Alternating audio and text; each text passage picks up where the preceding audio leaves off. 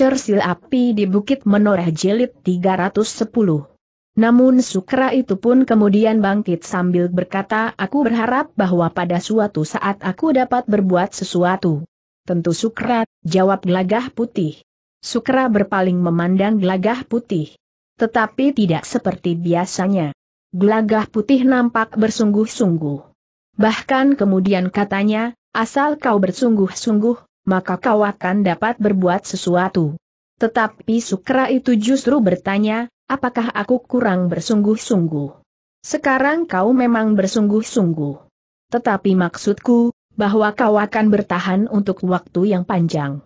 Bahkan dari tahun ke tahun, aku akan bertahan untuk waktu yang lama.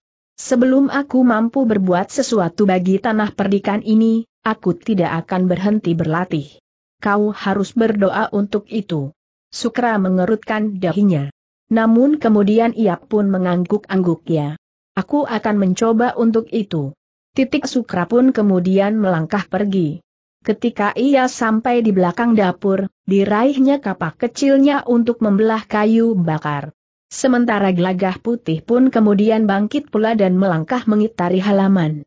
Gelagah putih kemudian telah pergi ke dapur pula. Namun demikian ia sampai di pintu, dilihatnya Ki Jayaraga telah melangkai telundak pintu itu sambil menjinjing cangkul. Ki Jayaraga akan pergi ke mana? Seharusnya tadi pagi-pagi aku membuka pematang untuk mengairi sawah di simpang empat dekat ke gumuk kecil itu. Sekarang Ki Jayaraga akan pergi ke sawah bertanya gelagah putih. Kasihan tanaman yang menjadi kekhasan itu tetapi Ki Jayaraga tentu masih letih. Ki Jayaraga tersenyum. Katanya, Aku sudah beristirahat cukup lama. Bukankah di sawah aku tidak akan berbuat apa-apa kecuali membuka pematang untuk mengalirkan air? Kemudian selanjutnya aku hanya tinggal menungguinya saja. Tanda pisah N. Dari dapur terdengar suara sekar mirah, aku juga sudah minta agar besok saja sawah itu dialiri. Atau barangkali Sukra dapat pergi untuk hari ini. Tanda petik. Tetapi Ki Jayaraga tersenyum. Katanya biarlah aku pergi ke sawah. Di rumah aku juga hanya merenung. Bukankah lebih baik aku berada di sawah menunggui air sambil tiduran di gubuk? Gelagah putih pun tersenyum sementara Rarawulan bertanya di tengah hari nanti, Ki Jaya Raga akan pulang atau Sukra harus membawa kiriman ke sawah? Sebelum tengah hari aku akan pulang, jawab Ki Jaya Raga. Demikianlah, maka Ki Jayaraga pun segera berangkat ke sawah sambil memanggul cangkul. Meskipun orang tua itu semalam suntuk tidak tidur dan bahkan telah terlibat dalam pertempuran yang sengit, namun ia masih tetap nampak segar. Setelah mandi, minum minuman hangat, wajah Ki Jayaraga itu nampak terang. Meskipun ia tidak dapat menghindari garis-garis umurnya, namun ternyata dukungan wadaknya masih tetap utuh. Demikianlah, seisi rumah itu masih tetap melakukan tugas mereka sehari-hari sebagaimana hari-hari yang lain. Namun Rara Wulan hari itu tidak pergi berbelanja. Kecuali masih ada persediaan kebutuhan dapur, ia dapat memetik daun kacang panjang, so dan kroto di kebun belakang.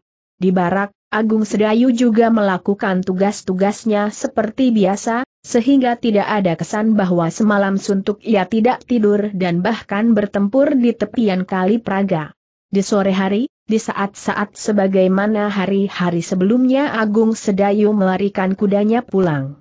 Jika kudanya berlari lebih kencang dari hari-hari yang lain, karena Agung Sedayu masih memikirkan luka-luka di tubuh Sekar Mirah.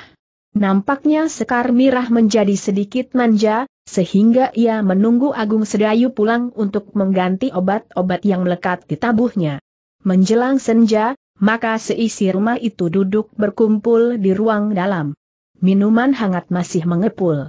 Sambil meneguk, mereka masih memperbincangkan orang-orang yang mengaku saudara seperguruan Sekar Mirah itu. Apakah aku bersalah, bahwa aku tidak membunuhnya bertanya Sekar Mirah tiba-tiba. Tidak, Jawab Agung Sedayu Nyiduani sudah menyerah. Menurut paugeran para prajurit pun tidak dibenarkan membunuh lawan yang sudah menyerah dan tidak berdaya. Tetapi para prajurit akan menawan lawan-lawannya yang menyerah desis Sekar Mirah. Tetapi langkahmu sudah benar, sahut Ki Jaya Raga seandainya orang itu mendendam, itu adalah urusannya. Semakin kerdil jiwa seseorang, maka, dendam semakin tebal melapisi dinding jantung Uya. Namun orang yang hidupnya dibayangi oleh dendam yang tidak berkeputusan, tidak akan pernah merasakan ketenangan. Sekar Mirah termangu-mangu sejenak. Sementara itu gelagah putihlah yang berdesis, tetapi bagaimanapun juga kita tidak boleh mengabaikan dendam yang menyala di hati mereka. Ya, Agung Sedayulah yang menyaut. Kita memang harus selalu berhati-hati. Tetapi betapapun hitamnya hati seseorang, namun tentu masih ada percikan-percikan sinar terang di dalamnya. Seandainya dendam itu menyala di hati, perlakukan yang pernah dialaminya tentu akan mempengaruhinya sikapnya kemudian. Tetapi bagaimana menurut Kakang, sikap Sabalintang agaknya hatinya memang sekeras, batu. Memang. Mungkin seorang telah membunuh tunas kata-kata nuraninya. Sendiri. Tetapi mudah-mudahan kisah Balintang pun sempat membuat pertimbangan-pertimbangan yang jernih di hari-hari mendatang, sebagai pemegang tongkat, maka ia tentu akan berusaha menegakkan wibawanya dengan care apa pun juga. Tetapi kisah Balintang telah melihat kenyataan, bahwa Nyi Lurah Agung Sedayu pantas untuk memegang tongkat kepemimpinan dari perguruannya, sahut Ki Jaya Kisah Lintang akan dapat menghasut saudara-saudara seperguruannya, berkata gelagah putih kemudian. Kau yakin, bahwa ia memang saudara seperguruan Sekar Miras sehingga ia berhak untuk merencanakan pembangunan kembali perguruan itu bertanya Agung Sedayu. Gelagah putih terdiam tetapi kepalanya terangguk-angguk kecil. Namun dalam pada itu, Sekar Mirah pun berkata tetapi bagaimana tongkat itu dapat jatuh ke tangan Kisabalintang tetap menjadi sebuah pertanyaan. Ya, itu merupakan satu pekerjaan tersendiri untuk mengetahuinya. Pada satu saat, aku akan menemui Kakang Untara. Tentu dalam waktu yang tidak terlalu lama mumpung tidak ada tugas-tugas berat bagi para prajurit dari pasukan khusus sehingga aku akan dapat meninggalkannya beberapa hari. Aku ikut bersama Kakang, desis gelagah putih pun agak ragu. Agung Sedayu tertawa. Katanya, apakah kau sudah sangat rindu kepada ayahmu? Baiklah kita bicarakan pada saatnya. Tetapi yang penting justru Mbokayu Sekar Mirah. Persoalannya adalah persoalan perguruannya. Gelagah putih menarik nafas dalam-dalam. Namun ia pun kemudian mengangguk sambil berdesis, ya, sangat penting bagi Mbok Kayu.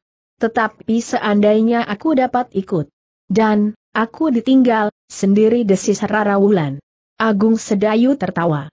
Sementara itu Sekar Mirah pun tersenyum sambil berkata, tidak. Tentu tidak. Rara. Bukannya aku menjadi ketakutan.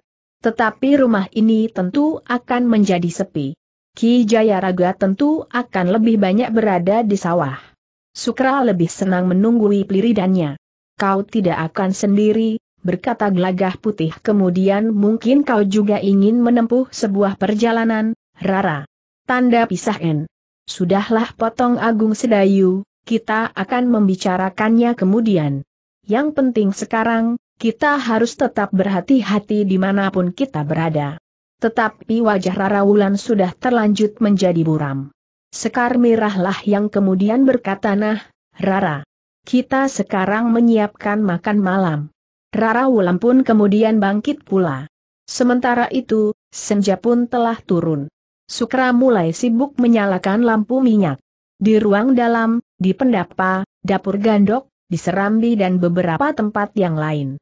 Sedangkan Sekar Mirah dan Rara Wulan mulai menyiapkan makan dalam di dapur. Sementara itu, di ruang dalam, Agung Sedayu, Kijaya Raga dan Gelagah Putih masih berbincang tentang sekelompok orang yang mengaku saudara-saudara seperguruan Sekar Mirah itu. Namun berapa saat kemudian, maka mereka pun telah duduk lagi dalam satu lingkaran, termasuk Sekar Mirah dan Rara Wulan untuk makan malam. Malam itu seisi rumah itu pun telah tidur dengan nyenyak. Sebenarnya bahwa mereka merasa letih dan mengantuk. Apalagi sekar mirah yang di tubuhnya masih terdapat beberapa buah luka. Sementara itu gelagah putih pun masih belum pulih sepenuhnya.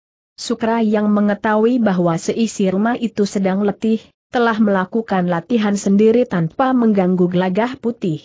Dengan tekunnya mengulangi unsur-unsur gerak yang pernah diajarkan oleh gelagah putih. Berulang kali, sehingga keringatnya membasahi seluruh tubuhnya. Sukra itu tidak menghiraukan kawan-kawannya yang memanggilnya untuk bermain sembunyi-sembunyian ketika bulan naik di atas cakrawala di sebelah timur. Baru menjelang tengah malam Sukra berhenti berlatih. Ketika ia keluar dari sanggar, ia masih mendengar suara kawan-kawannya yang bermain-main. Namun Sukra sudah merasa letih, sehingga ia tidak tertarik lagi untuk ikut bermain. Setelah keringatnya agak kering, Sukra telah pergi ke pakiwan, membersihkan diri, kemudian pergi ke biliknya. Seperti yang lain pun, Sukra yang letih itu pun telah tidur dengan lenyaknya. Pagi-pagi benar seisi rumah itu sudah terbangun. Tubuh mereka terasa menjadi semakin segar. Gelagah putih merasa bahwa segala-galanya sudah menjadi pulih kembali. Sementara luka-luka Sekar Mirah pun sudah menjadi semakin baik. Sedangkan kekuatan Sekar Mirah rasa-rasanya telah menjadi utuh pula. Karena itu, maka mereka segera melakukan kewajiban mereka dengan baik-baiknya.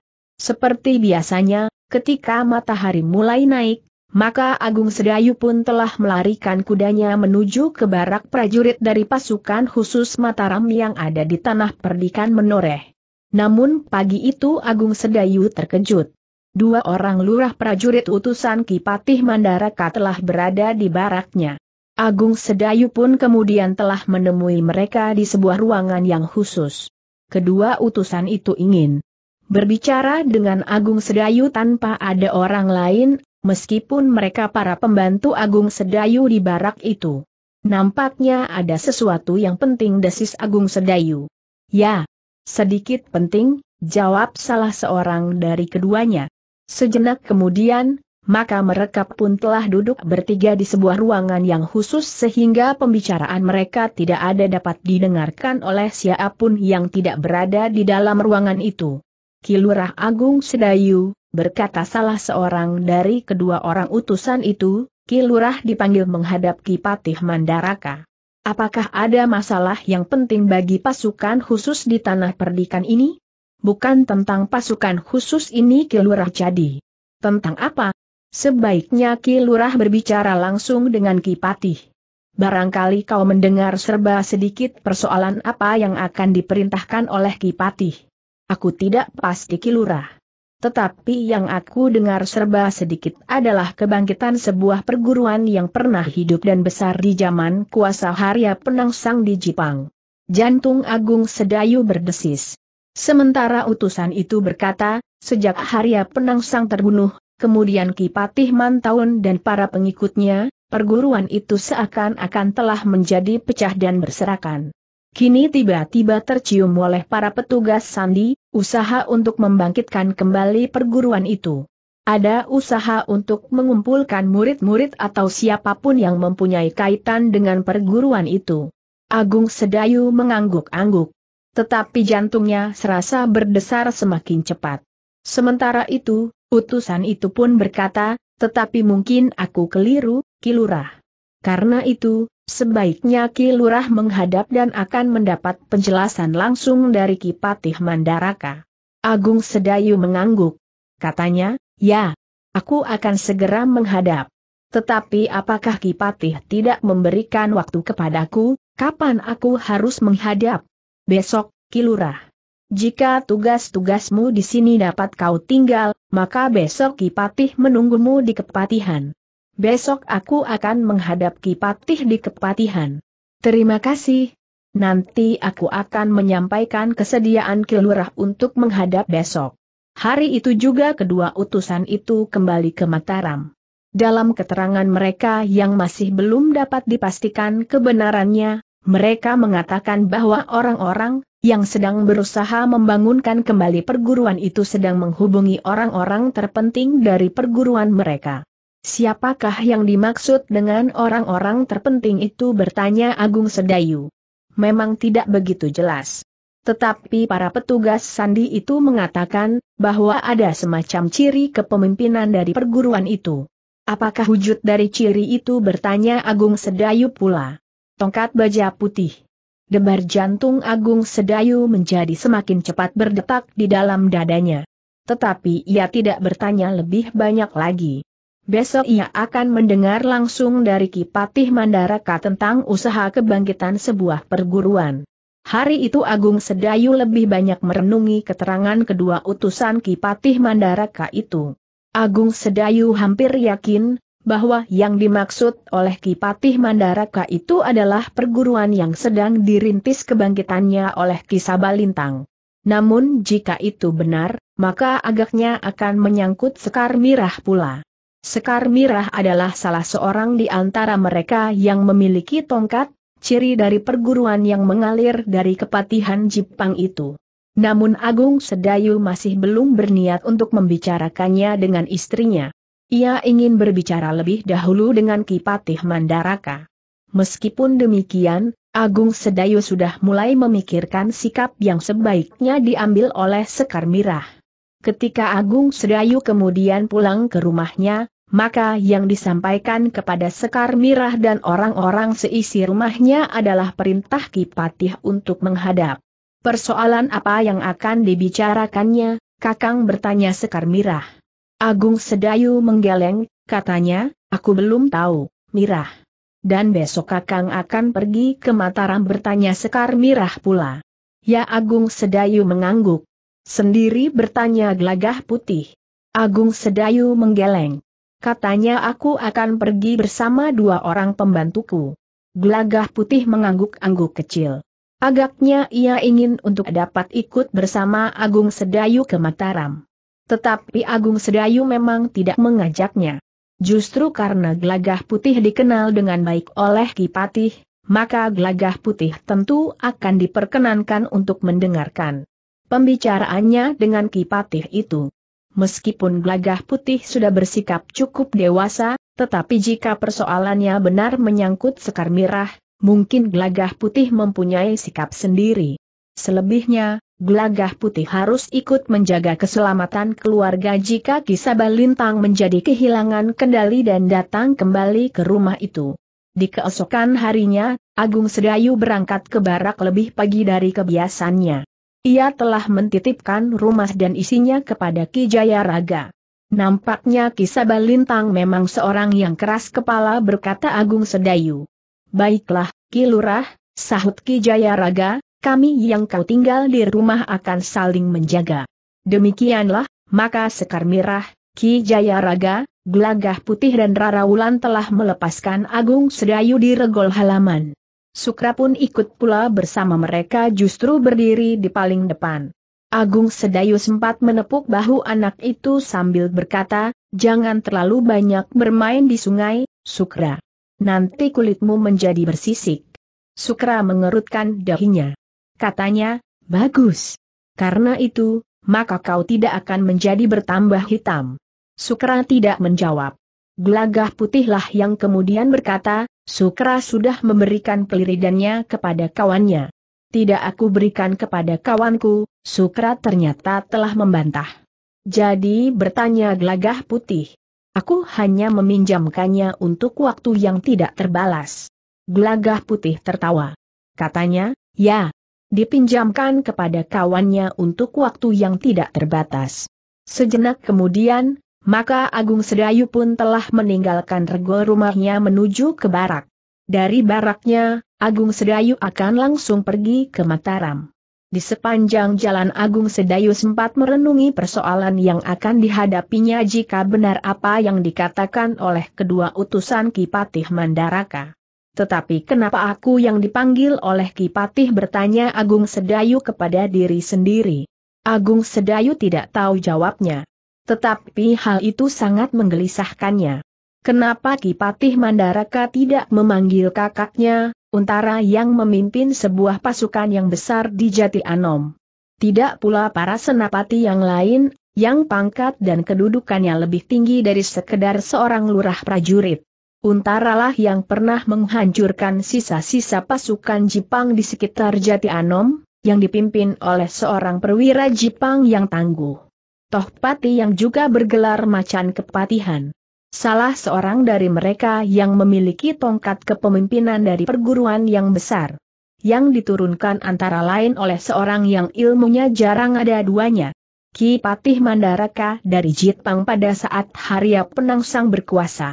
Namun nebar di jantung Agung Sedayu itu menjadi semakin cepat berdentang di dadanya seorang lagi yang memiliki tongkat kepemimpinan adalah saudara muda seperguruan Ki Patih Mantaun yang bernama Ki Sumangkar. Sedangkan tongkat itu kemudian berada di tangan murid Ki Sumangkar itu. Sekar Mirah. Apakah Ki Patih Mandaraka mengetahui bahwa istriku adalah salah seorang dari mereka yang mewarisi ilmu dari perguruan yang telah pecah dan yang kemudian akan dibangkitkan lagi itu?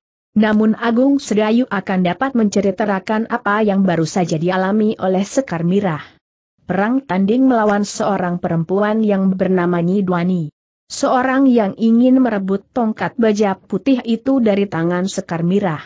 Sudah tentu bahwa dengan sepasang tongkat baja putih di tangan Kisabalintang dan Nyidwani, mereka akan lebih mudah mempengaruhi orang-orang yang merasa dirinya terkait oleh perguruan yang telah pernah pecah berserakan itu sepeninggal Ki Patih Mantaun.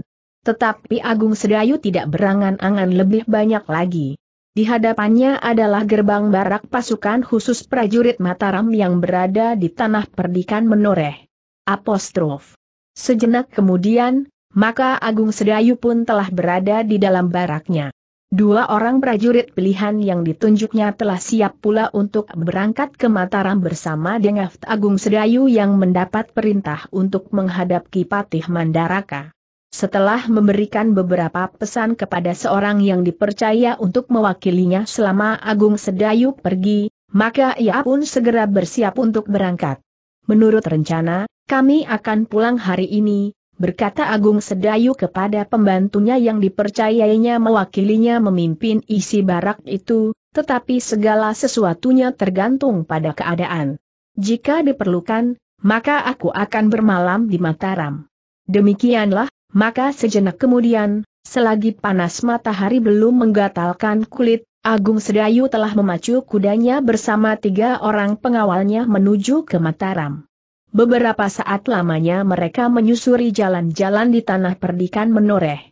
Sinar matahari pagi memang agak menyilaukan mata mereka, karena mereka berkuda ke arah timur. Ketika mereka sampai di tepian, ternyata beberapa buah rakit telah hilir mudik membawa orang-orang yang menyeberang dari barat ke timur dan dari timur ke barat beberapa orang di antara mereka menuntun kuda beban yang membawa hasil bumi mereka ke pasar yang lain membawa hasil kerajinan tangan. Agung Sedayu dan kedua orang pengawalnya harus menunggu beberapa saat lamanya, sebelum mereka mendapat kesempatan untuk naik ke atas sebuah rakit yang baru mendarat di sisi barat serta menurunkan penumpangnya. Demikian mereka sampai di seberang sebelah timur, maka mereka pun segera melanjutkan perjalanan mereka, kuda-kuda mereka pun segera berlari pula langsung menuju ke Mataram. Kita langsung pergi ke Kepatihan, berkata Agung Sedayu demikian mereka memasuki pintu gerbang kota. Sementara itu, matahari sudah menjadi semakin tinggi. Jalan-jalan nampak ramai. Orang berlalu lalang sementara satu dua orang berkuda lewat. Mereka melintas dengan kecepatan yang terkendali. Apalagi di jalan-jalan simpang. Meskipun demikian ada juga satu dua orang yang berkuda tanpa menghiraukan keselamatan orang lain dengan melarikan kuda mereka kencang-kencang meskipun di jalan yang terhitung ramai. Dalam pada itu, Agung Sedayu dan kedua orang pengawalnya itu pun langsung menuju ke kepatihan. Mereka berhenti di pintu gerbang dan berloncatan turun. Kemudian mereka menuntun kuda mereka memasuki halaman. Dua orang prajurit yang bertugas menghentikan mereka. Namun ketika mereka melihat bahwa orang itu adalah Ki Lurah Agung Sedayu dan pengawalnya, maka prajurit itu pun segera mempersilahkannya masuk. Seorang lurah prajurit yang berada di serambi gandok sebelah barat mempersilahkan Agung Sedayu dan kedua orang pengawalnya duduk menunggu. Ki Lurah akan menyampaikan kepada Ki Patih, bahwa Ki Lurah Agung Sedayu telah datang. Sejenak kemudian maka Agung Sedayu pun telah diterima oleh Kipatih di serambi samping menghadap kelongkangan di belakang pintu seketeng. Sementara itu dua orang prajurit yang mengawalnya menunggu di serambi tempat para prajurit bertugas. Dengan nada dalam kipatih itu pun berkata, sudah agak lama kita tidak bertemu, Kilurah. Kilurah Agung Sedayu mengangguk hormat sambil menyahut, ya, Kipatih. Sudah agak lama aku tidak menghadap Kipatih. Kau tentu sibuk, Agung Sedayu. Aku telah mendengar laporan, bahwa kau sedang berusaha meningkatkan kemampuan prajurit-prajuritmu. Bahkan ada beberapa orang yang kau telik secara pribadi, sehingga mereka akan menjadi prajurit pilihan. Bukankah itu memang tugasku, Ki Patih? Ki Patih Mandaraka tersenyum. Katanya, nah, kali ini ada sesuatu yang ingin aku bicarakan denganmu, Ki Lurah. Agung Sedayu termangu-mangu. Namun kemudian ia pun mengangguk hormat pula sambil berdesis ya, Ki Patih. Tanda petik. Ki Patih Mandaraka menarik nafas dalam-dalam. Katanya barangkali kau juga sudah mendengar Agung Sedayu, bahwa para petugas sandi telah mencium adanya satu usaha untuk menghimpun kembali sebuah perguruan yang telah pecah bersamaan dari terbunuhnya Ki Patih Mantahun dari Jepang dan kemungkinan disusul oleh seorang senapati Jepang yang pilih tanding, toh pati yang bergelar mancan kepatihan? Dua orang utusan Kipatih telah menyinggungnya, meskipun hanya sekilas, karena meluncur keterangan mereka, mereka pun belum tahu secara pasti, apa yang telah terjadi dengan perguruan itu. Ya, demikian aku mendengar laporan tentang usaha itu, maka kau pun segera memanggilmu. Ya, Ki Patih, perintah apakah yang harus aku lakukan? Tanda pisah N. Aku belum akan memberikan perintah apa-apa. Agung Sedayu. Aku baru akan membicarakan persoalannya. Agung Sedayu mengangguk hormat pula. Kilurah, berkata Kipatih Mandaraka kemudian menurut laporan para petugas sandi, perguruan Kedung Jati yang besar itu, akan bangkit kembali. Meskipun Kipatih Mantahun dan saudara seperguruannya, Ki Sumangkar sudah tidak ada, tetapi berapa orang murid dari perguruan itu, merasa terpanggil untuk menyusul kembali perguruan Kedung Jati. Agung Sedayu tidak menjawab. Kepalanya tertunduk, sementara jantungnya menjadi berdebaran. Kilurah, sebaiknya aku berkata berterus terang. Aku sudah tahu, bahwa pada perguruan itu terdapat ciri kepemimpinan yang mempunyai pengaruh yang besar terhadap mereka yang merasa terkait dan berkepentingan dengan perguruan itu. Jantung Agung Sedayu menjadi semakin berdebaran. Sementara Kipatih berkata selanjutnya, dan aku pun telah mengetahuinya, bahwa salah seorang dari mereka yang memiliki tongkat kepemimpinan dari perguruan Kedung Jati itu adalah istri Kilurah. Agung Sedayu memang tidak ingin menyembunyikan kenyataan itu. Karena itu, maka Agung Sedayu pun berkata ya, kepemimpinan perguruan Kedung Jati. Tongkat itu diterimanya dari gurunya, Ki Sumangkar. Saudara seperguruan Ki Patih Mantaun. Karena itu, Ki Lurah. Maka aku ingin membicarakan persoalan ini dengan Ki Lurah sebelum aku mengambil keputusan untuk melakukan sesuatu. Panembahan Senapati pun sependapat, bahwa aku harus berbicara dengan Kilurah lebih dahulu. Jika sebelum aku mendapat penjelasan dari Kilurah, ada orang lain yang mendapat tugas untuk menyelesaikan persoalan ini, aku takut terjadi salah paham dengan istri Kilurah. Agung Sedayu termangu-mangu sejenak. Namun kemudian ia pun berkata, Ki Patih. Memang pernah terjadi sesuatu dengan istriku sehubungan dengan rencana beberapa orang untuk menghimpun dan membangunkan kembali perguruan Kedung Jati itu. Tanda petik. Apa yang pernah terjadi, Kilurah? Tanda petik. Agung Sedayu pun kemudian menceritakan apa yang pernah terjadi dengan istrinya. Kedatangan beberapa orang yang ingin menyeretnya ke dalam satu pertemuan untuk menyusun kembali perguruan Kedung Jati itu. Agung Sedayu pun telah menceritakan bahwa justru telah terjadi perang tanding antara istrinya dan Nyi Dwani. Bahkan dalam perang tanding itu kemudian telah terjadi persoalan baru sehingga perang tanding itu pun akhirnya menjadi meluas. Seorang di antara orang-orang yang mendatangi istrinya itu telah terbunuh. Ki Patih mendengarkan laporan Agung Sedayu dengan sungguh-sungguh. Namun kemudian ia pun bertanya, jika pertemuan itu diselenggarakan di tanah perdikan, apakah Nyi Lurah bersedia untuk menjadi salah seorang pemimpin dari susunan perguruan yang bangkit kembali itu? Jika pertemuan itu dilakukan di tanah perdikan, serta istriku mampu menanamkan pengaruhnya, maka ia akan dapat memberikan arah kepada perguruan yang baru itu. Namun ternyata maksud mereka tidak demikian, berkata Ki Patih, mereka justru ingin mengambil tongkat itu dari tangan istrimu. Ya, Ki Patih. Ki Lurah Agung Sedayu, berkata Ki Patih kemudian biarlah aku melengkapi keteranganku. Menurut pendengaran para petugas sandi, maka kebangkitan perguruan Kedung Jati itu, bukan sekedar kebangkitan sebuah perguruan. Maksud Ki Patih tanda tanya. Sebagian besar dari penggeraknya adalah mereka yang menganggap bahwa Panembahan Senapati tidak berhak memimpin Mataram yang tumbuh semakin besar. Jantung Agung Sedayu berdebar semakin cepat.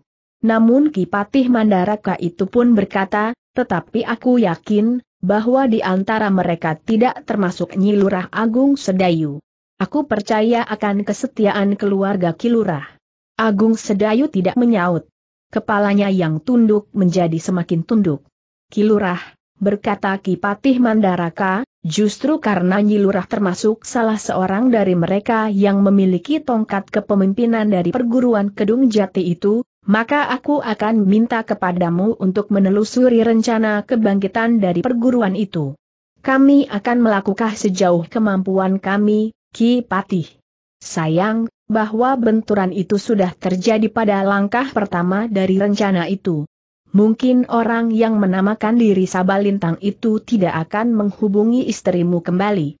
Dendamnya masih menyala di hatinya. Ya, jika orang itu datang, tentu untuk mencari kesempatan membalas dendam. Bukan untuk berbicara tentang rencana-rencana yang akan dilakukannya. Meskipun demikian, Ki Patih jika Kipatih memang memerintahkan kepada kami, maka kami akan berusaha. Meskipun kami tidak memastikan diri untuk dapat menguak sampai tuntas, namun setidak-tidaknya keterangan-keterangan yang kami dapatkan, akan melengkapi laporan para petugas sandi. Ki Patih mengangguk-angguk. Namun kemudian katanya tetapi mungkin terjadi, bahwa penelusuran para petugas sandi akan sampai juga kepada Nyi Lurah Agung Sedayu. Karena itu, maka pada saatnya aku ingin mengatur agar tidak terjadi salah paham antara petugas sandi dengan Nyi Lurah Agung Sedayu. Aku percaya bahwa Ki Lurah akan dapat mengendalikan Nyi Lurah. Bukan saja karena Ki Lurah memiliki kelebihan dari Nyi Lurah, sehingga Nyi Lurah tidak berani bergerak. Tetapi lebih dari itu, Ki Lurah dapat mengendalikan Nyi Lurah dari segi keyakinan, bahwa usaha untuk membangkitkan kembali perguruan itu dengan tujuan menentang usaha Mataram untuk mempersatukan daerah yang luas di tanah ini adalah satu langkah yang salah. Agung Sedayu mengangguk hormat. Ia sadar, bagaimanapun juga ada kecurigaan Kipatih terhadap istrinya, sehingga Kipatih telah membebankan tugas kepadanya untuk mengendalikan Sekar Mirah. Dengan nada dalam Agung Sedayu itu pun berkata, Ki Patih. Aku akan berusaha sejauh dapat aku lakukan untuk mengendalikan Sekar Mirah. Tetapi peristiwa yang terjadi kemarin malam itu pun satu pertanda, bahwa Sekar Mirah tidak mudah untuk dapat dibujuk dan kemudian diperalat mereka. Bahkan mungkin mereka memperhitungkan kemungkinan untuk menyingkirkan Sekar Mirah, kemudian menguasai baja putihnya.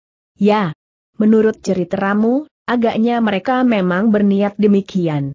Tetapi setelah usaha itu gagal, mungkin mereka akan mempergunakan lain. Mereka akan dapat memakai cara yang lebih halus dari sebuah perang tanding.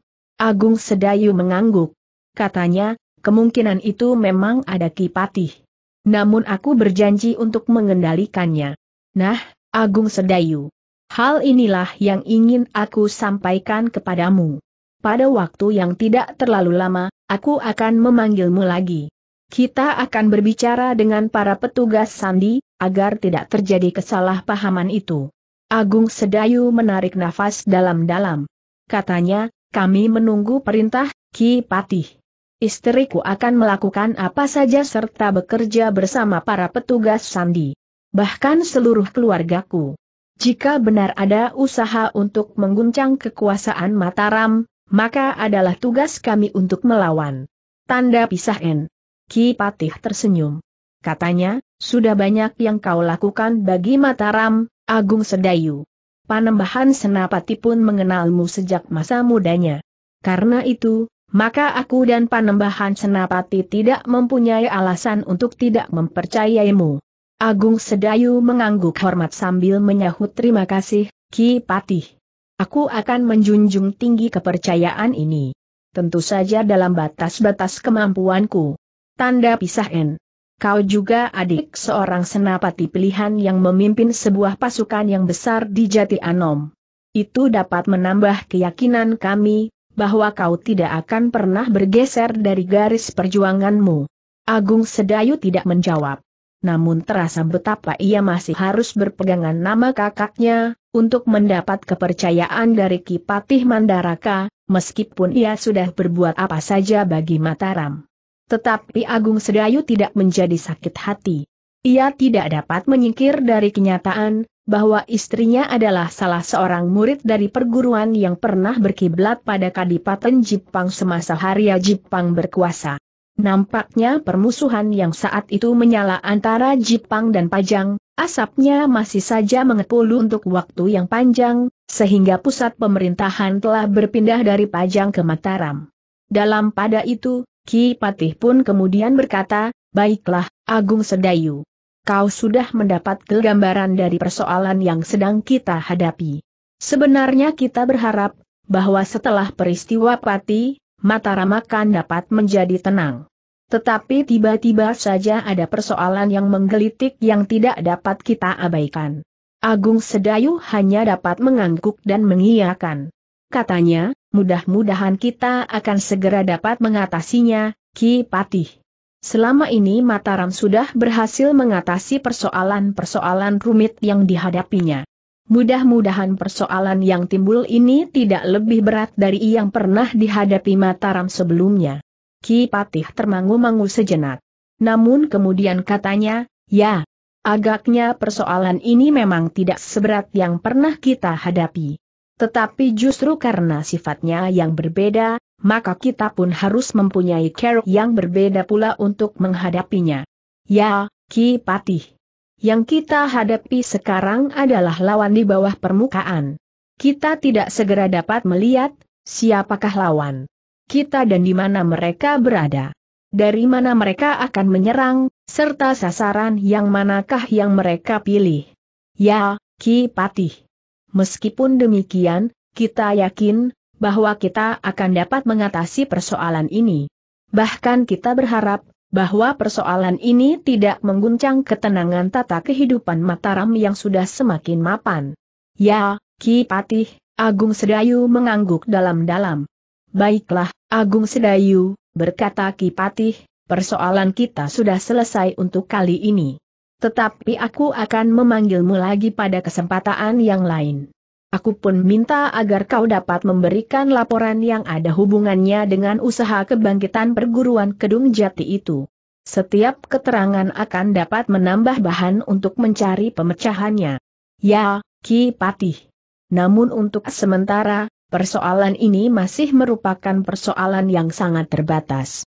Hanya pembantu-pembantuku yang terpercaya yang mendengarnya, termasuk kedua orang utusanku yang memanggilmu kemarin. Kau pun harus ikut menjaga, agar persoalan ini tidak tersebar. Jika usaha kita untuk mengikuti jejak mereka dapat mereka ketahui, maka mereka akan menjadi semakin berhati-hati. Baik, Ki Patih, aku akan menjaga bahwa hal ini tidak akan menebar sampai keluar lingkungan keluargaku. Terima kasih, Mudah-mudahan kita tidak mengalami kesulitan untuk menangani persoalan ini. Ki Patih, berkata Agung Sedayu kemudian, aku mohon izin, agar keluargaku diperkenankan untuk ikut menelusuri jejak mereka yang berusaha membangkitkan kembali perguruan yang pernah besar di bawah kepemimpinan Ki Patih Mentaun serta Toh Pati yang bergelar macan kepatihan itu. Aku tidak berkeberatan. Agung Sedayu. Tetapi tidak sejak sekarang, sudah aku katakan, bahwa aku akan memanggil beberapa orang pemimpin dari prajurit Sandi. Aku ingin membicarakan, apa yang sebaiknya kita lakukan, agar tidak terjadi salah paham. Agung Sedayu mengangguk sambil menyahut ya, Ki Patih. Nah, aku kira tidak ada lagi yang harus kita bicarakan hari ini Agung Sedayu. Namun kau tidak perlu tergesa-gesa pulang. Masih ada waktu untuk berbicara tentang hal-hal yang lain. Sementara itu biarlah disuguhkan hidangan bagimu. Terima kasih, Ki Patih. Biarlah aku duduk di luar. Aku datang bersama dua orang prajuritku. Di mana mereka sekarang? Di luar Kipatih. Bersama para prajurit yang bertugas. Baiklah. Tetapi jangan pulang dulu. Bukankah masih banyak waktu? Ya Kipatih. Kenapa tidak kau ajak, gelagah putih? Pada kesempatan lain aku akan membawanya. Agung Sedayu pun kemudian mohon diri untuk berada di luar bersama para pengawalnya. Namun Kipatih itu pun berkata, nanti, kalau kau akan kembali ke tanah perdikan, aku masih akan memberikan beberapa pesan kepadamu. Ya, Kipatih, jawab Agung Sedayu.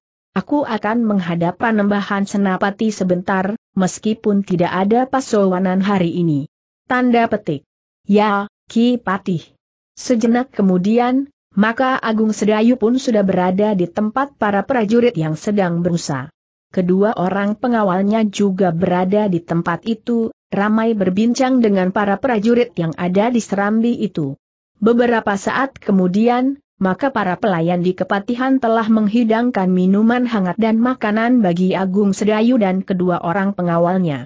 Silahkan, berkata lurah prajurit yang bertugas, itu, minuman kami sudah hampir habis. Selagi Agung Sedayu dan kedua orang pengawalnya meneguk minuman, maka Kipatih yang duduk di punggung kudanya melintas di halaman diiringi oleh dua orang pengawalnya. Namun kuda itu berhenti sejenak. Tangan Kipatih itu pun kemudian melambai memanggil Agung Sedayu. Dengan tergesa-gesa Agung Sedayu pun berlari-lari kecil mendekat. Kau tidak usah menunggu aku. Jika kau akan kembali ke tanah perdikan, aku mengucapkan selamat jalan. Terima kasih, Ki Patih, sahut Agung Sedayu sambil membungkuk hormat. Ki Patih terdiam sejenak. Namun kemudian katanya kita akan berbicara lagi beberapa hari mendatang. Kau dapat membicarakan dengan istrimu lebih dahulu, apa yang sebaiknya kalian lakukan. Baik, Ki Patih. Terima kasih atas kedatanganmu, Ki Lurah Agung Sedayu membungkuk hormat sambil berdesis. Kami yang di tanah perdikan menoreh selalu menunggu perintah Ki Patih Mandaraka itu pun tersenyum.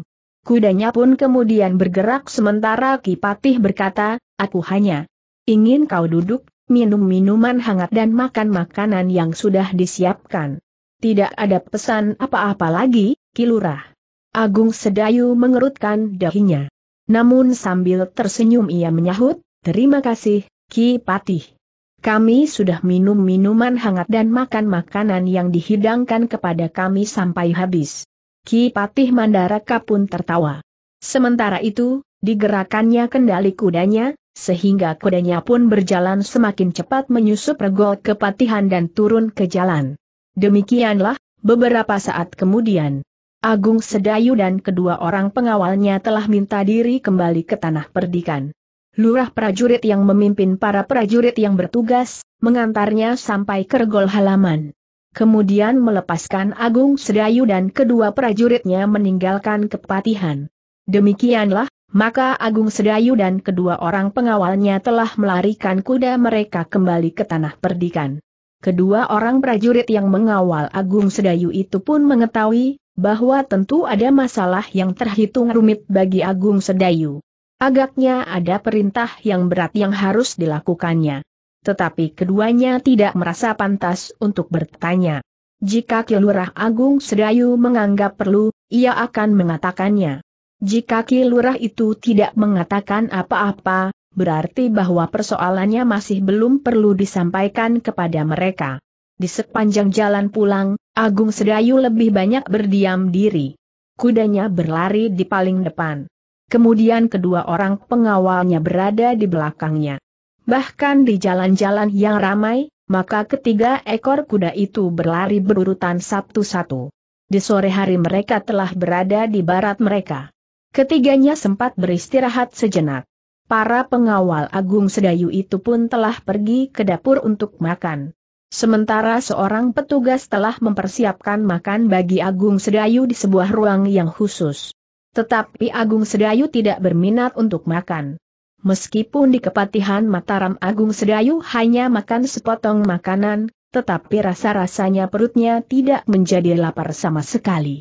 Karena itu, maka Agung Sedayu pun justru ingin segera pulang dan membicarakan persoalannya dengan keluarganya. Beberapa saat kemudian, setelah Agung Sedayu menerima laporan dari orang yang diserahinya memimpin barak itu selama ia pergi, maka Agung Sedayu pun telah memberikan beberapa perintah kepadanya pula. Sampai besok, berkata Agung Sedayu kemudian, aku akan pulang. Baik, Kilurah, jawab prajurit yang diserahinya. Demikianlah, maka Agung Sedayuk pun segera melarikan kudanya menuju ke padukuhan induk tanah perdikan. Ketika Agung Sedayu memasuki regol halaman rumahnya, maka Agung Sedayu berusaha untuk menghilangkan kesan kegelisahan hatnya ia berusaha bersikap seperti biasa tanpa beban persoalan sama sekali. Sekar Mirah yang diberitahu oleh Sukra bahwa Agung Sedayu telah pulang, segera menyongsongnya sutralah yang kemudian menuntun kuda Agung Sedayu ke kandang, sementara Agung Sedayu langsung masuk ke ruang dalam. Aku kira kau bermalam di Mataram, Kakang, berkata Sekar Mirah. Tidak Mirah. Tidak banyak bersoalan yang aku bicarakan dengan Kipatih Mandaraka. Tentang apa bertanya Sekar Mirah. Nanti, setelah aku mandi, aku akan bercerita.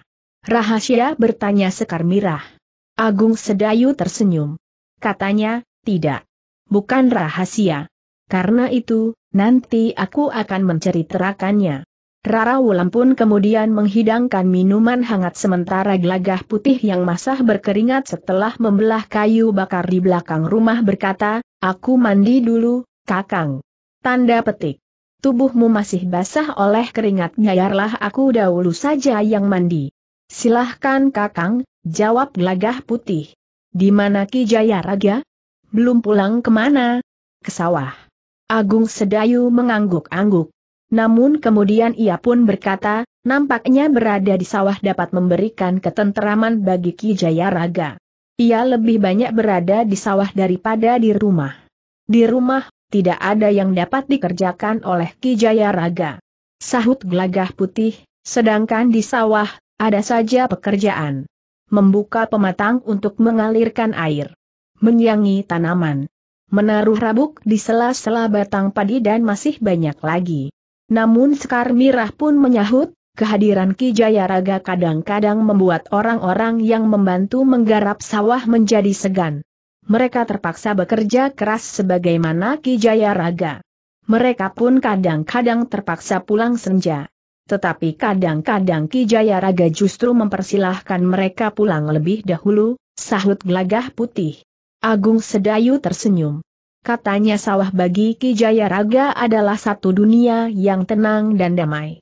Kegelisahan di masa-masa lampau membuatnya selalu titik merindukan ketenangan itu. Gelagah putih mengangguk kecil. Namun mereka pun kemudian melihat Ki Jaya Raga itu memasuki ruang dalam lewat pintu samping. Ia tertegun melihat Agung Sedayu yang sudah berada di ruang dalam. Ki Lurah sudah pulang, desis Ki Jaya Raga. Ya Ki Jaya Raga, jawab Agung Sedayu tidak banyak masalah yang kami bicarakan. Namun Agung Sedayu pun kemudian pergi ke Pakiwan.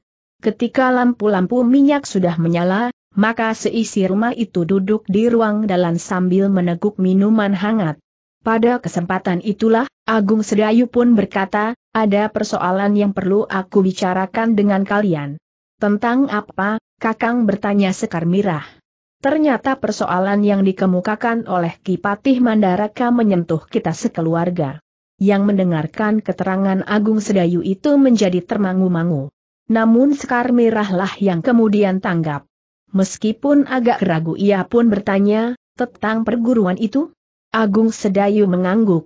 Laporan yang sampai ke Mataram bukan tentang perang tanding itu tetapi tentang usaha beberapa orang untuk membangkitkan kembali perguruan yang pernah menggetarkan Pajang. Perguruan Kedung Jati.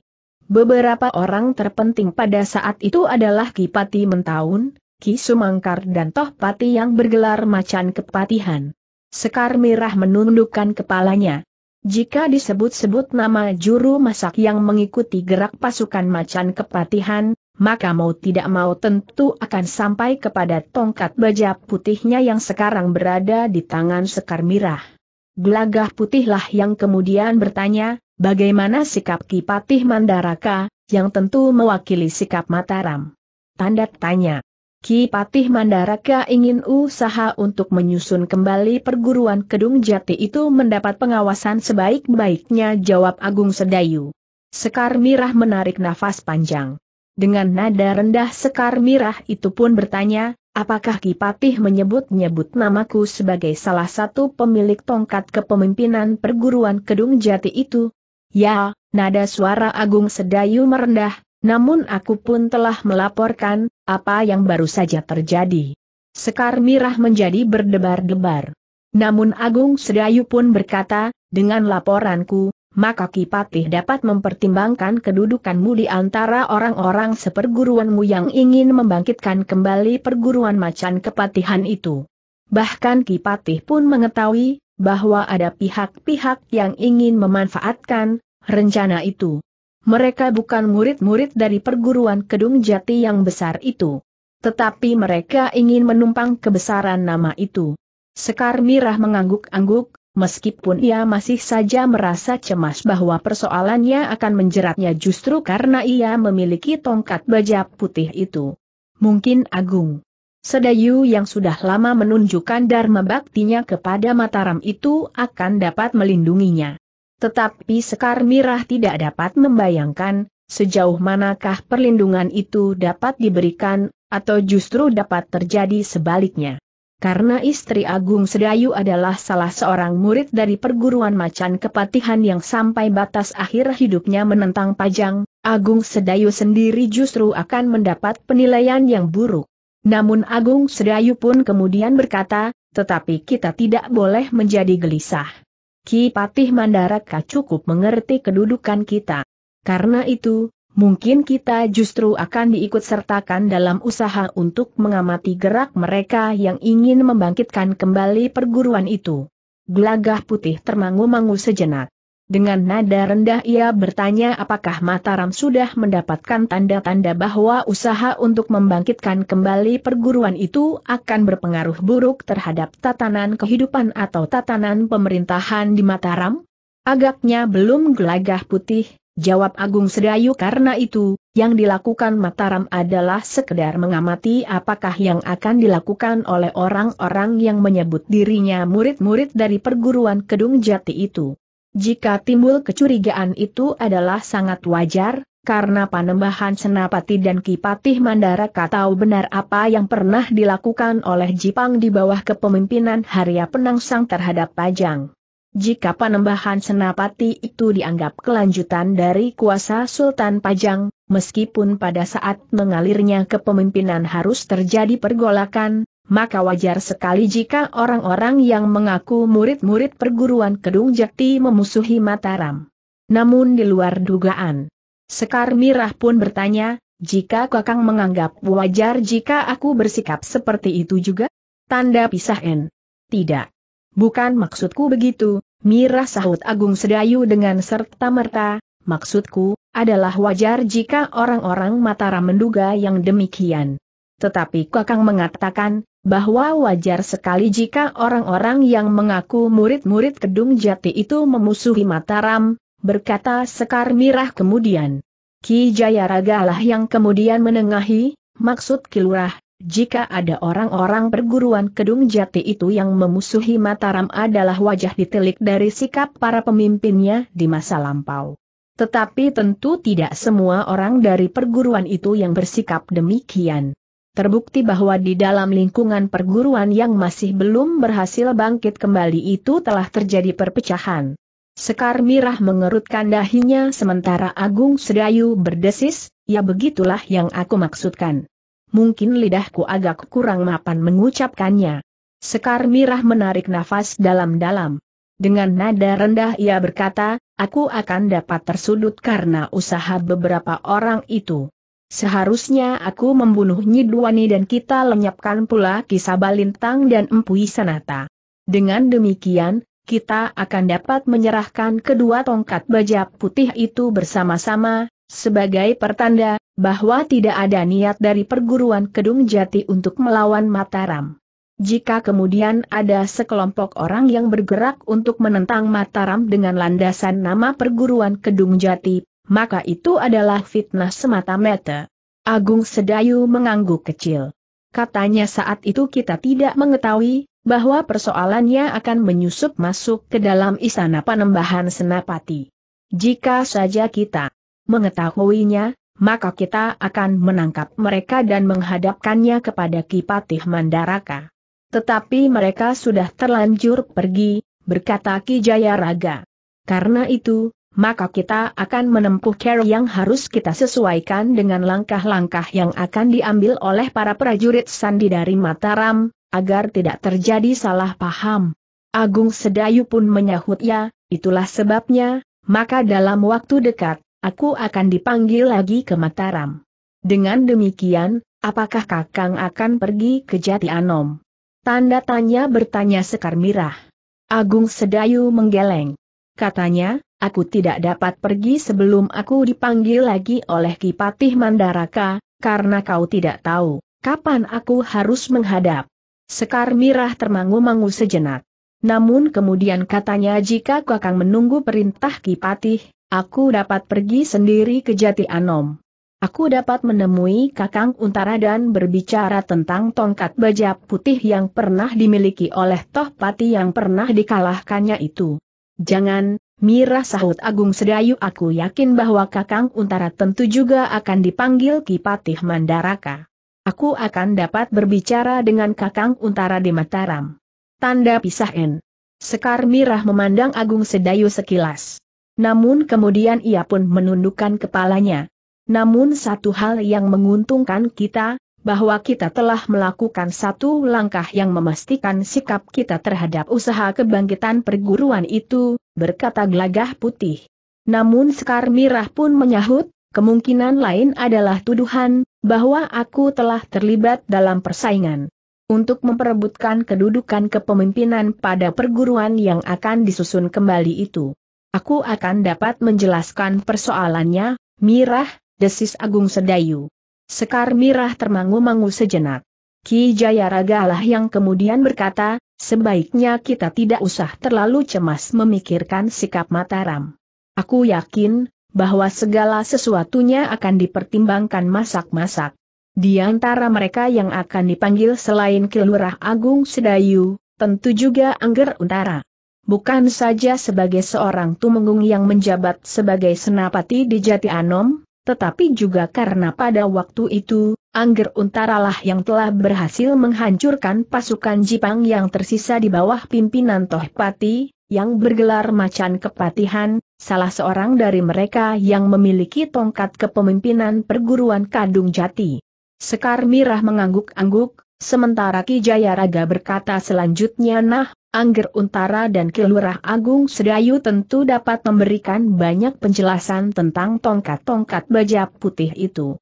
Yang sekarang salah satunya adalah di tangan Kisabalintang. Di mana kita dapat mencari Kisabalintang? Kita tidak pernah bertanya di manakah tempat tinggalnya atau padepokannya atau apa pun yang dapat memberikan petunjuk di mana orang itu berada, gumam gelagah putih. Seandainya kita bertanya, maka jawabnya tentu bukan yang sesungguhnya, sahut Ki Jaya Raga, Ki Sabalintang dapat saja menyebut nama sebuah padukuhan atau sebuah padepokan atau apa saja. Ya, gelagah putih berdesis apalagi mempunyai maksud yang tersembunyi. Sebaiknya kita memang menunggu, berkata Agung Sedayu kemudian titik tetapi pembicaraan ini merupakan bekal bagiku nanti. Meskipun di hari berikutnya Sekar Mirah berusaha untuk tetap bersikap tenang, namun terkesan juga pada sikap dan tingkah lakunya, bahwa ia masih saja diburu oleh kegelisahan. Bagaimanapun juga Sekar Mirah berusaha, namun ia tidak dapat melupakan persoalan yang sedang menjadi pembicaraan di Mataram itu. Usaha beberapa orang untuk menghimpun kembali murid-murid dari perguruan Kedung Jati. Yang sedikit memberikan ketenangan pada Sekar Mirah adalah, bahwa suaminya termasuk orang yang akan diajak berbicara tentang usaha Mataram untuk mengamati dan jika perlu mengambil langkah-langkah untuk mengatasinya. Dalam pada itu, di hari-hari berikutnya Agung Sedayu tidak berani meninggalkan tanah perdikan. Setiap saat ia akan dapat dipanggil oleh Kipatih Mandaraka. Karena bagi Agung Sedayu persoalannya sangat penting, maka ia berusaha untuk dapat hadir pada pertemuan yang akan diselenggarakan itu, selain bahwa kehadirannya itu adalah satu kewajiban bagi Agung Sedayu sebagai seorang prajurit.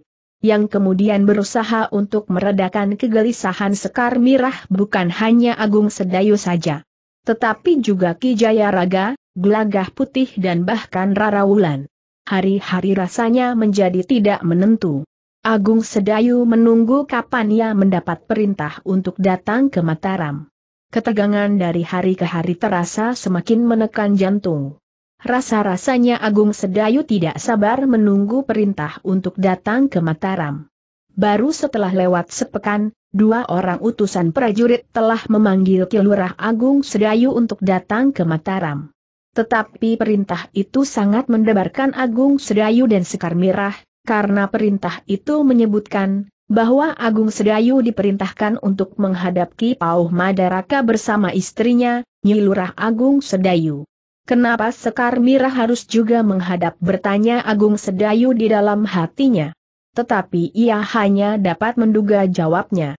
Besok, aku mendapat perintah untuk menghadap Kipatih, Sekar Mirah, berkata Agung Sedayu demikian ia sampai di rumah. Ia pun telah memberitahukan pula, bahwa Sekar Mirah juga harus menghadap. Semakin cepat agaknya semakin baik, Kakang. Kita segera tahu, apa yang dikehendaki oleh Mataram sebenarnya. Agung Sedayu mengangguk. Katanya ya, Mirah. Segala-galanya akan segera menjadi jelas. Kita tidak perlu berteka-teki lagi dari hari ke hari. Aku siap, Kakang. Besok aku akan ikut bersama Kakang ke Mataram. Tanda petik. Baiklah. Besok kita pergi ke barak lebih dahulu. Kita akan pergi bersama dengan dua orang pengawal. Apakah kita masih memerlukan pengawal bertanya Sekar Mirah? Ya. Dalam perjalanan tugas, aku dibenarkan membawa pengawal jawab Agung Sedayu. Sekar Mirah mengangguk, tetapi ia tidak bertanya lagi. Ketika hal itu diketahui oleh Ki Jaya Raga, Gelagah Putih dan Rara Wulan, mereka pun menjadi berdebar-debar juga. Agak kuya tongkat baja putih di tangan Sekar Mirah itu telah menjadi perhatian para pemimpin di Mataram. Tanda petik. Segala-galanya akan menjadi lebih pasti berkata Agung Sedayu. Ki Jaya Raga mengangguk-angguk pula katanya segala sesuatunya akan diletakkan di lemparnya. Demikianlah, di hari berikutnya, Agung Sedayu dan Sekar Mirah meninggalkan regol halaman rumahnya sebelum matahari terbit Ki Jaya Raga, Gelagah Putih dan Sekar Mirah melepas mereka di luar gol. Beberapa saat mereka mengamati derap kaki-kaki kuda sehingga kuda-kuda itu menghilang di kelok jalan. Mudah-mudahan tidak terjadi salah paham, desis Ki Jaya Raga, peristiwa yang baru saja terjadi di tepian akan dapat menjadi bahan pertimbangan sikap Nyi Lurah Sekar Mirah. Gelagah putih menarik nafas dalam-dalam. Sementara Rara Wulan berdesis, jadi ada juga baiknya peristiwa itu terjadi dengan demikian terbukti bahwa Nyi Lurah tidak berada di antara mereka yang ingin menyusun kembali perguruan itu dengan tujuan yang dapat menguncang ketenangan Mataram. Gelagah putih termangu-mangu sejenak. Ia juga berpendapat sebagaimana dikatakan oleh Rara Wulan. Bahkan ia telah membunuh salah seorang dari mereka, sengaja atau tidak sengaja. Dalam pada itu, di perjalanan Sekar Mirah sempat mempersoalkan pakaiannya. Apakah ia akan menghadap Kipatih dengan pakaian yang dikenakannya itu? Apakah dengan demikian, ia tidak dianggap deksura? Tetapi kau tidak dapat berbuat lain, Mirah. Kau tidak dapat mengenakan pakaian sebagaimana seorang perempuan, karena kau harus menempuh peralanan berkuda.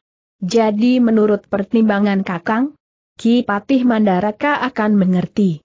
Kecuali jika kita harus menghadap Panembahan Senapati. Sekar Mirah mengangguk kecil. Tetapi ia sudah mempersiapkan pakaian sepengadek jika ia harus berganti pakaian. Demikianlah, mereka berkuda dengan cepat menuju ke barak. Sekar Mirah sengaja membawa tongkat baja putihnya, karena ia menduga, tongkat baja putih itu akan dipersoalkannya. Keduanya pun kemudian telah memasuki gerbang barak pasukan khusus. Setelah duduk sejenak di ruangan yang disediakan untuk menerima tamu, maka dua orang prajurit terpilih telah siap untuk mengawal Kilurah Agung Sedayu dan istrinya ke Mataram. Sejenak Agung Sedayu masih berbincang dengan orang yang dipercayainya untuk memimpin para prajurit yang ada di dalam barak itu. Baru kemudian Agung Sedayu dan Sekar Mirah bersama dua orang prajurit berangkat ke Mataram. Tidak ada hambatan berarti di perjalanan. Mereka melintasi Kali Praga dengan sebuah rakit bersama dengan beberapa orang yang lain. Seorang di antara mereka yang berada di atas rakit itu tiba-tiba saja bertanya kepada Sekar Mirah, Ha, apakah kau seorang prajurit perempuan? Sekar Mirah mengerutkan dahinya. Dengan nada rendah ia pun menjawab, bukan kisana. Tetapi kau menyeberangi kali Praga bersama tiga orang prajurit. Sekar Mirah memandang orang itu dengan tajamnya. Dengan segan ia pun kemudian menjawab pendek, ya, apa hubunganmu dengan prajurit-prajurit itu bertanya orang itu pula.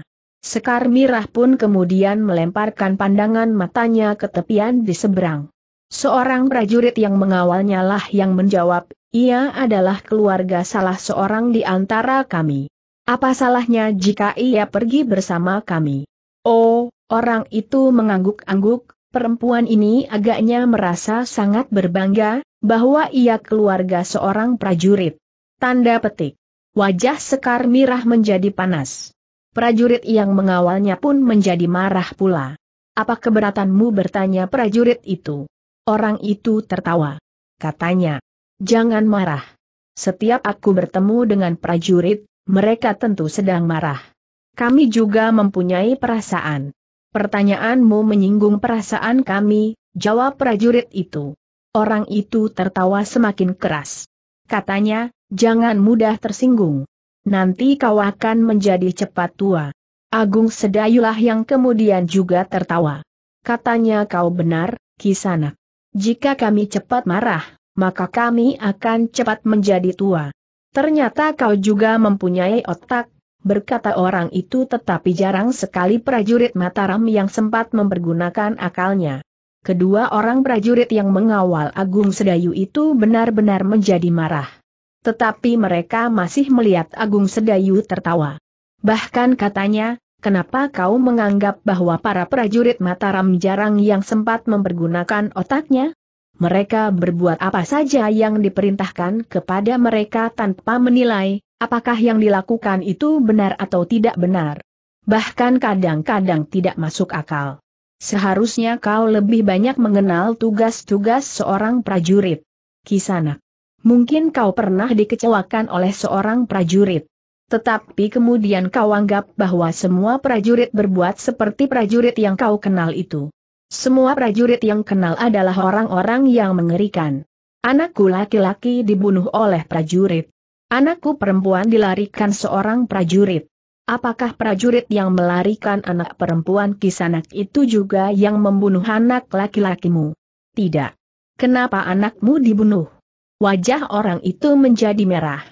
Dengan lantang ia berkata, Kalian juga melarikan seorang perempuan, maksudmu? Perempuan ini. Aku tidak melarikannya ia adalah keluargaku, sekarang. Tetapi dahulu kau tentu melarikannya juga. Katakan kisanak. Apakah anak perempuan itu dilarikan atau lari bersama-sama seorang prajurit? Persetah dengan anak itu, geramnya. Agung Sedayu memberi isyarat kepada kedua orang pengawalnya untuk tidak berbuat apa-apa.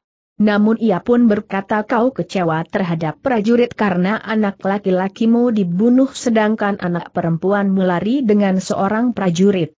Tetapi kau belum menjawab, kenapa anakmu itu dibunuh. Itu bukan urusanmu. Baik jawab Agung Sedayu aku tidak akan mengurusnya. Tetapi kau pun jangan mengurus perempuan yang pergi bersama kami. Kebetulan saja kita bersama-sama dalam satu rekit menyeberangi kali Praga. Orang itu terdiam. Tetapi gemeretak giginya masih menunjukkan kemarahannya yang menghentak-hentak di dadanya namun Agung Sedayu dapat mengerti kenapa ia membenci prajurit, Meskipun agaknya kematian anak laki-laki itu bukannya tanpa sebab, sedangkan anak perempuannya yang lari bersama seorang prajurit itu tentu juga ada alasannya. Ketika orang itu terdiam, maka Agung Sedayak pun tidak menghiraukannya lagi. Meskipun demikian, kedua orang pengawalnya masih saja merasa belum dapat menyingkirkan kemarahannya. Bahkan Sekar Mirah masih juga merasa terganggu. Orang itu kemudian duduk saja sambil bertopang dagu di atas rakit yang berenang menyeberang ke tepian sebelah timur. Beberapa saat kemudian para penumpangnya telah berloncatan turun. Membayar biaya penyeberangan dan melangkah di atas pasir tepian. Tetapi ternyata laki-laki yang di atas rakit yang berjalan di sebelah sekar mirah itu masih berkata, prajurit yang membunuh anakku itu belum saling mengenal. Prajurit itu hanya mendapat perintah untuk menangkap anakku tanpa sebab. Sudah tentu anakku melawan. Sekar Mirah pun menyahut hampir di luar sadarnya anakmu terbunuh dalam perkelahian. Seharusnya prajurit itu tidak menjalankan perintah tanpa mempergunakan otaknya.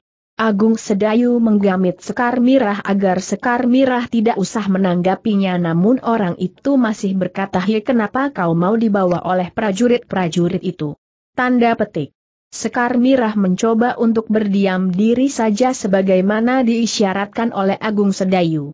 Tetapi laki-laki itu mendesaknya, Hi, kenapa? Kau tentu bukan anak salah seorang dari ketiga orang prajurit itu. Mereka masih terlalu muda untuk menjadi ayahmu. Kau tentu perempuan yang dipelihara oleh prajurit-prajurit itu. Kesabaran Sekar Mirah sudah sampai ke puncak. Tiba-tiba saja tangannya telah terayun memukul mulut orang itu. Orang itu mengaduh kesakitan. Dari sela-sela bibirnya menitik darah. Kalau bibirmu bergerak lagi, aku akan mematahkan beberapa gigi di mulutmu. Uh, Orang itu mengusap mulutnya dengan lengan bajunya namun kemudian ia pun melangkah dengan cepat menjauhi Sekar Mirah sambil berkata geram perempuan iblis. Aku akan membuat perhitungan kelak. Orang itu menjengkelkan sekali, geram salah seorang prajurit pengawalnya. Memang kadang-kadang masih ada prajurit yang merusak citranya sendiri. Citra yang buram itulah yang menghantuinya. Berkata Agung Sedayu. Tetapi anaknya itu tentu akan ditangkap karena satu sebab. Agung Sedayu mengangguk. Namun kemudian katanya. Tanda pisah en. Marilah. Kita masih akan menempuh perjalanan. Mereka pun kemudian telah meloncat ke punggung kuda mereka. Kuda-kuda itu berjalan di antara orang-orang yang ada di tepian. Yang baru saja menyeberang dan yang akan menyeberang. Beberapa orang memandang Sekar Mirah dengan kerut di dahi. Meskipun yang terjadi begitu cepat, tetapi ada juga orang yang melihat, bahwa Sekar Mirah telah memukul mulut laki-laki yang berjalan di sebelah perempuan yang menuntun kuda itu. Beberapa orang yang tidak tahu persoalannya telah menyesalkan perbuatan Sekar Mirah itu. Seorang perempuan berdesis mentang-mentang perempuan itu berjalan bersama tiga orang prajurit apa salah laki-laki itu?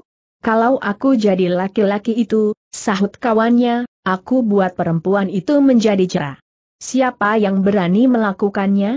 Perempuan itu tentu akan dilindungi oleh ketiga orang prajurit yang bersamanya itu apa pun hubungan mereka dengan perempuan itu. Sementara itu, Agung Sedayu, Sekar Mirah dan kedua orang pengawalnya telah melanjutkan perjalanan di atas punggung kuda ke Mataram. Keempat orang itu langsung menuju ke Kepatihan. Meskipun Sekar Mirah agak merasa canggung dengan pakaiannya tetapi menurut Agung Sedayu, Ki Patih akan dapat mengerti.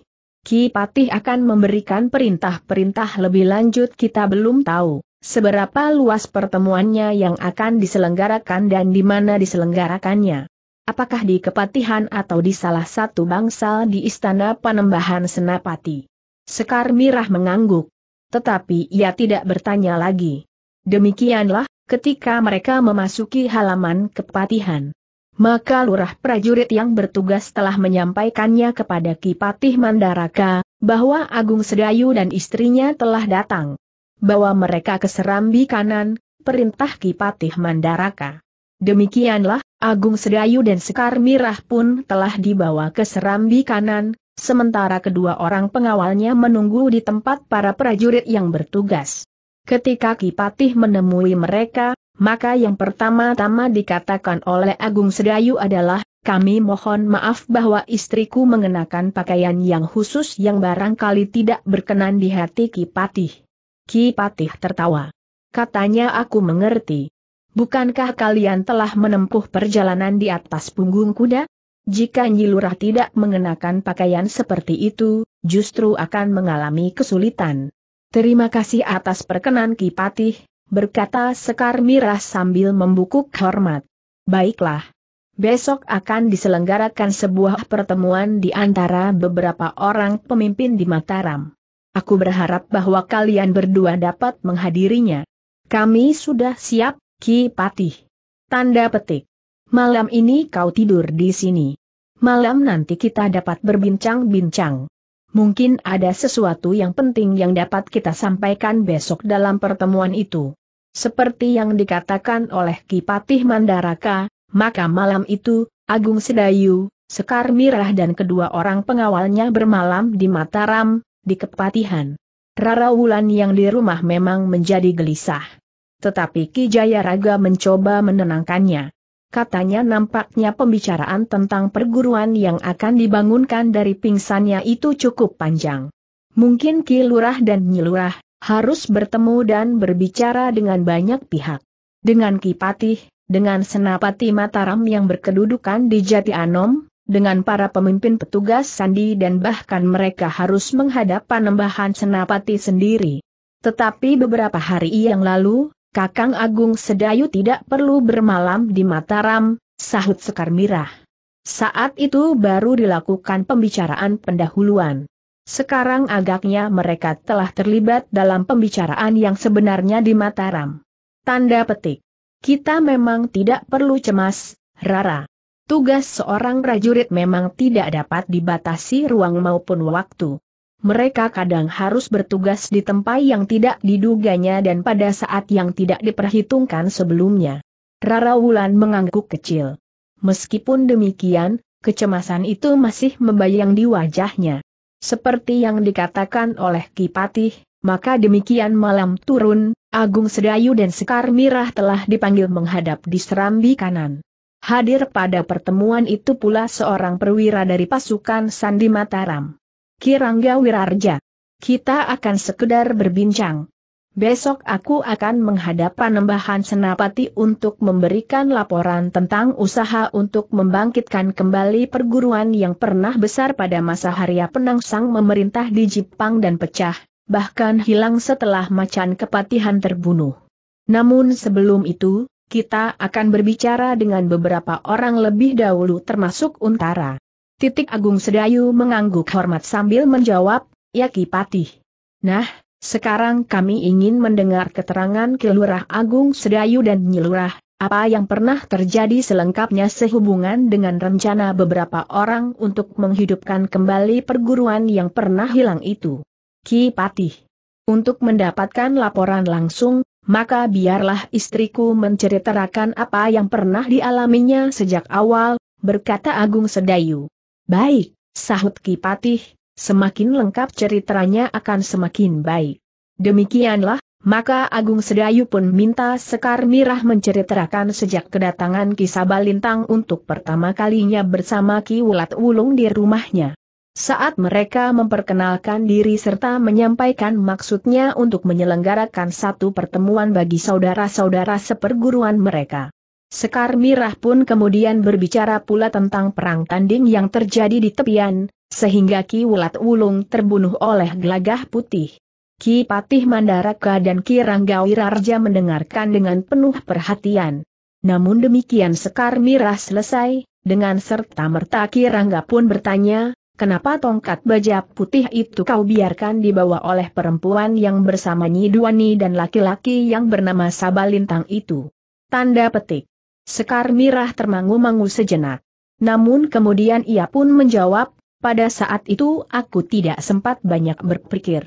Karena aku tidak membutuhkan tongkat itu, serta aku tidak merasa berhak untuk memilikinya, maka tongkat itu aku biarkan dibawa oleh Nyiduani dan Kisabalintang.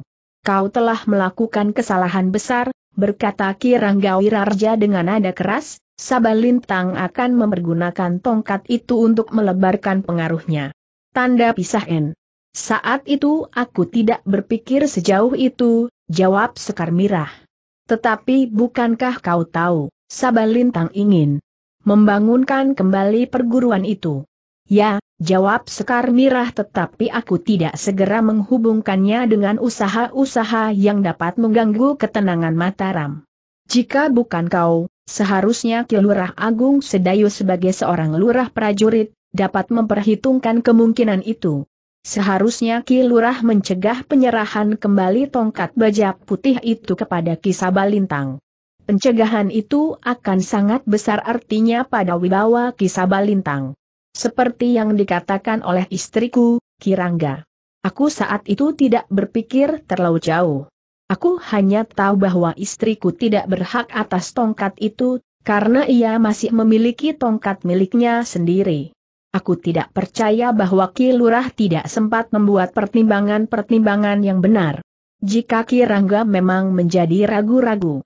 Namun akhirnya ia pun berkata bagaimanapun juga, kau merasa berkewajiban untuk mendukung rencana saudara-saudara seperguruan Nyilurah. Jika bagaimana menurut Ki Rangga tentang perang tanding itu bertanya Agung Sedayu. Wajah Ki Rangga nampak semakin bersungguh-sungguh. Dengan nada berat ia berkata, yang terjadi bukan karena perbedaan sikap tentang rencana kebangkitan perguruan itu. Tetapi semata-mata perebutan pengaruh di lingkungan para murid dari perguruan itu. Siapakah yang paling berhak mendampingi Ki Sabalintang memimpin perguruan yang bakal bangkit kembali itu? Tidak, sahut Sekar Mirah dengan serta-merta. Tetapi Agung Sedayulah yang berkata selanjutnya jika demikian, setelah kemenangan itu, lalu apa yang kira-kira dilakukan oleh Sekar Mirah menurut penalaran Kirangga? Wajah Kirangga menjadi merah. Sesaat itu terdiam. Namun kemudian ia pun berkata Nyi Lurah agaknya belum melakukan apa-apa. Tetapi pada saat-saat mendatang, akan terbukti, bahwa Nyi Lurah akan tampil sebagai salah seorang pemimpin dari perguruan yang akan bangkit itu. Menurut Nalar, jika itu alasan perang tanding yang terjadi itu sebagaimana Kirangga katakan, maka Sekar Mirah tentu sudah membunuh Nyidwani. Tetapi ternyata hal itu tidak dilakukannya. Kirangga Wirarja menjadi semakin tegang. Namun yang terdengar kemudian adalah suara tertawa Kipatih Mandaraka. Tidak terlalu keras. Tetapi terasa menghentak-hentak jantung. Aku sengaja ingin mendengarkan kalian mempersoalkan hal itu. Aku ingin Kirangga Wirarja mendengar alasan-alasan yang sebenarnya kenapa hal itu terjadi. Aku berharap bahwa Kirangga Wirarja dapat memahaminya. Kirangga memandang Kipatih sekilas. Namun kemudian ia pun menundukkan kepalanya. Sementara itu, Ki Patih berkata lebih lanjut, persoalan ini tidak berdiri sendiri, Kirangga jika kita ingin menilainya, maka kita harus menilainya secara utuh. Tidak sepotong-potong.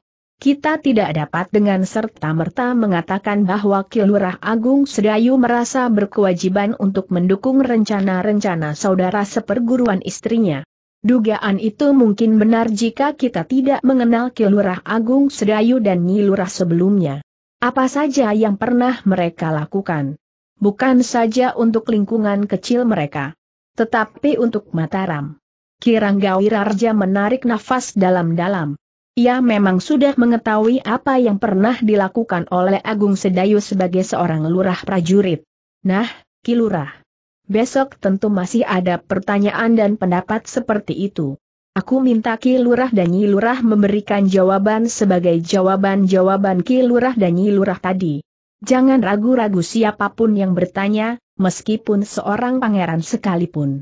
Aku sendiri percaya sepenuhnya, apa yang Ki Lurah dan Nyi Lurah katakan itu.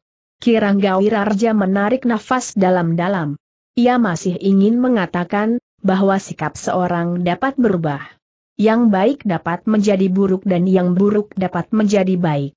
Demikianlah pula kesetiaan Kilurah Agung Sedayu dan Nyi Lurah terhadap Mataram dapat juga berubah, jika mereka melihat sesuatu yang akan menjadi lebih berarti bagi mereka. Namun sebelum hal itu dikatakan, Ki Patih yang seakan-akan dapat membaca perasaannya itu berkata, memang tidak mustahil bahwa seseorang karena sesuatu hal dapat berubah sikap. Termasuk Kilurah Agung Sedayu dan Nyi Lurah. Jika mereka melihat satu kemungkinan yang jauh lebih baik bagi masa depannya, maka sikap mereka akan dapat goyah.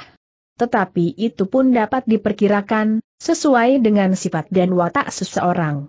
Seorang yang tamak akan lebih cepat tergetar oleh kemungkinan-kemungkinan seperti itu. Tetapi ada juga orang yang lebih mementingkan keyakinan yang mendasar daripada gebiar keduniawian seperti itu. Derajat pangkat sempat dan apalagi yang dapat terlepas setiap saat. Ki Wirarja harus menahan diri. Ternyata Ki Patih telah menjawab pendapatnya yang belum sempat dikatakannya. Namun Ki Patih itu pun berkata, tetapi pernyataan Ki Rangga itu memang ada baiknya diutarakannya sekarang sehingga Ki Lurah dan Nyi Lurah besok tidak akan terkejut jika ada persyaratan dan pertanyaan mengenai hal itu.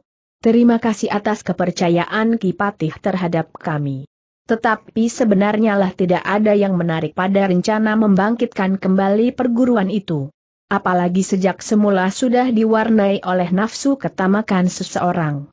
Jika usaha ini dihubungkan kembali dengan kebangkitan Jipang di bawah kepemimpinan Harya Penangsang dan Ki Patih Mentaun, maka itu tidak akan berarti sama sekali, berkata Agung Sedayu kemudian.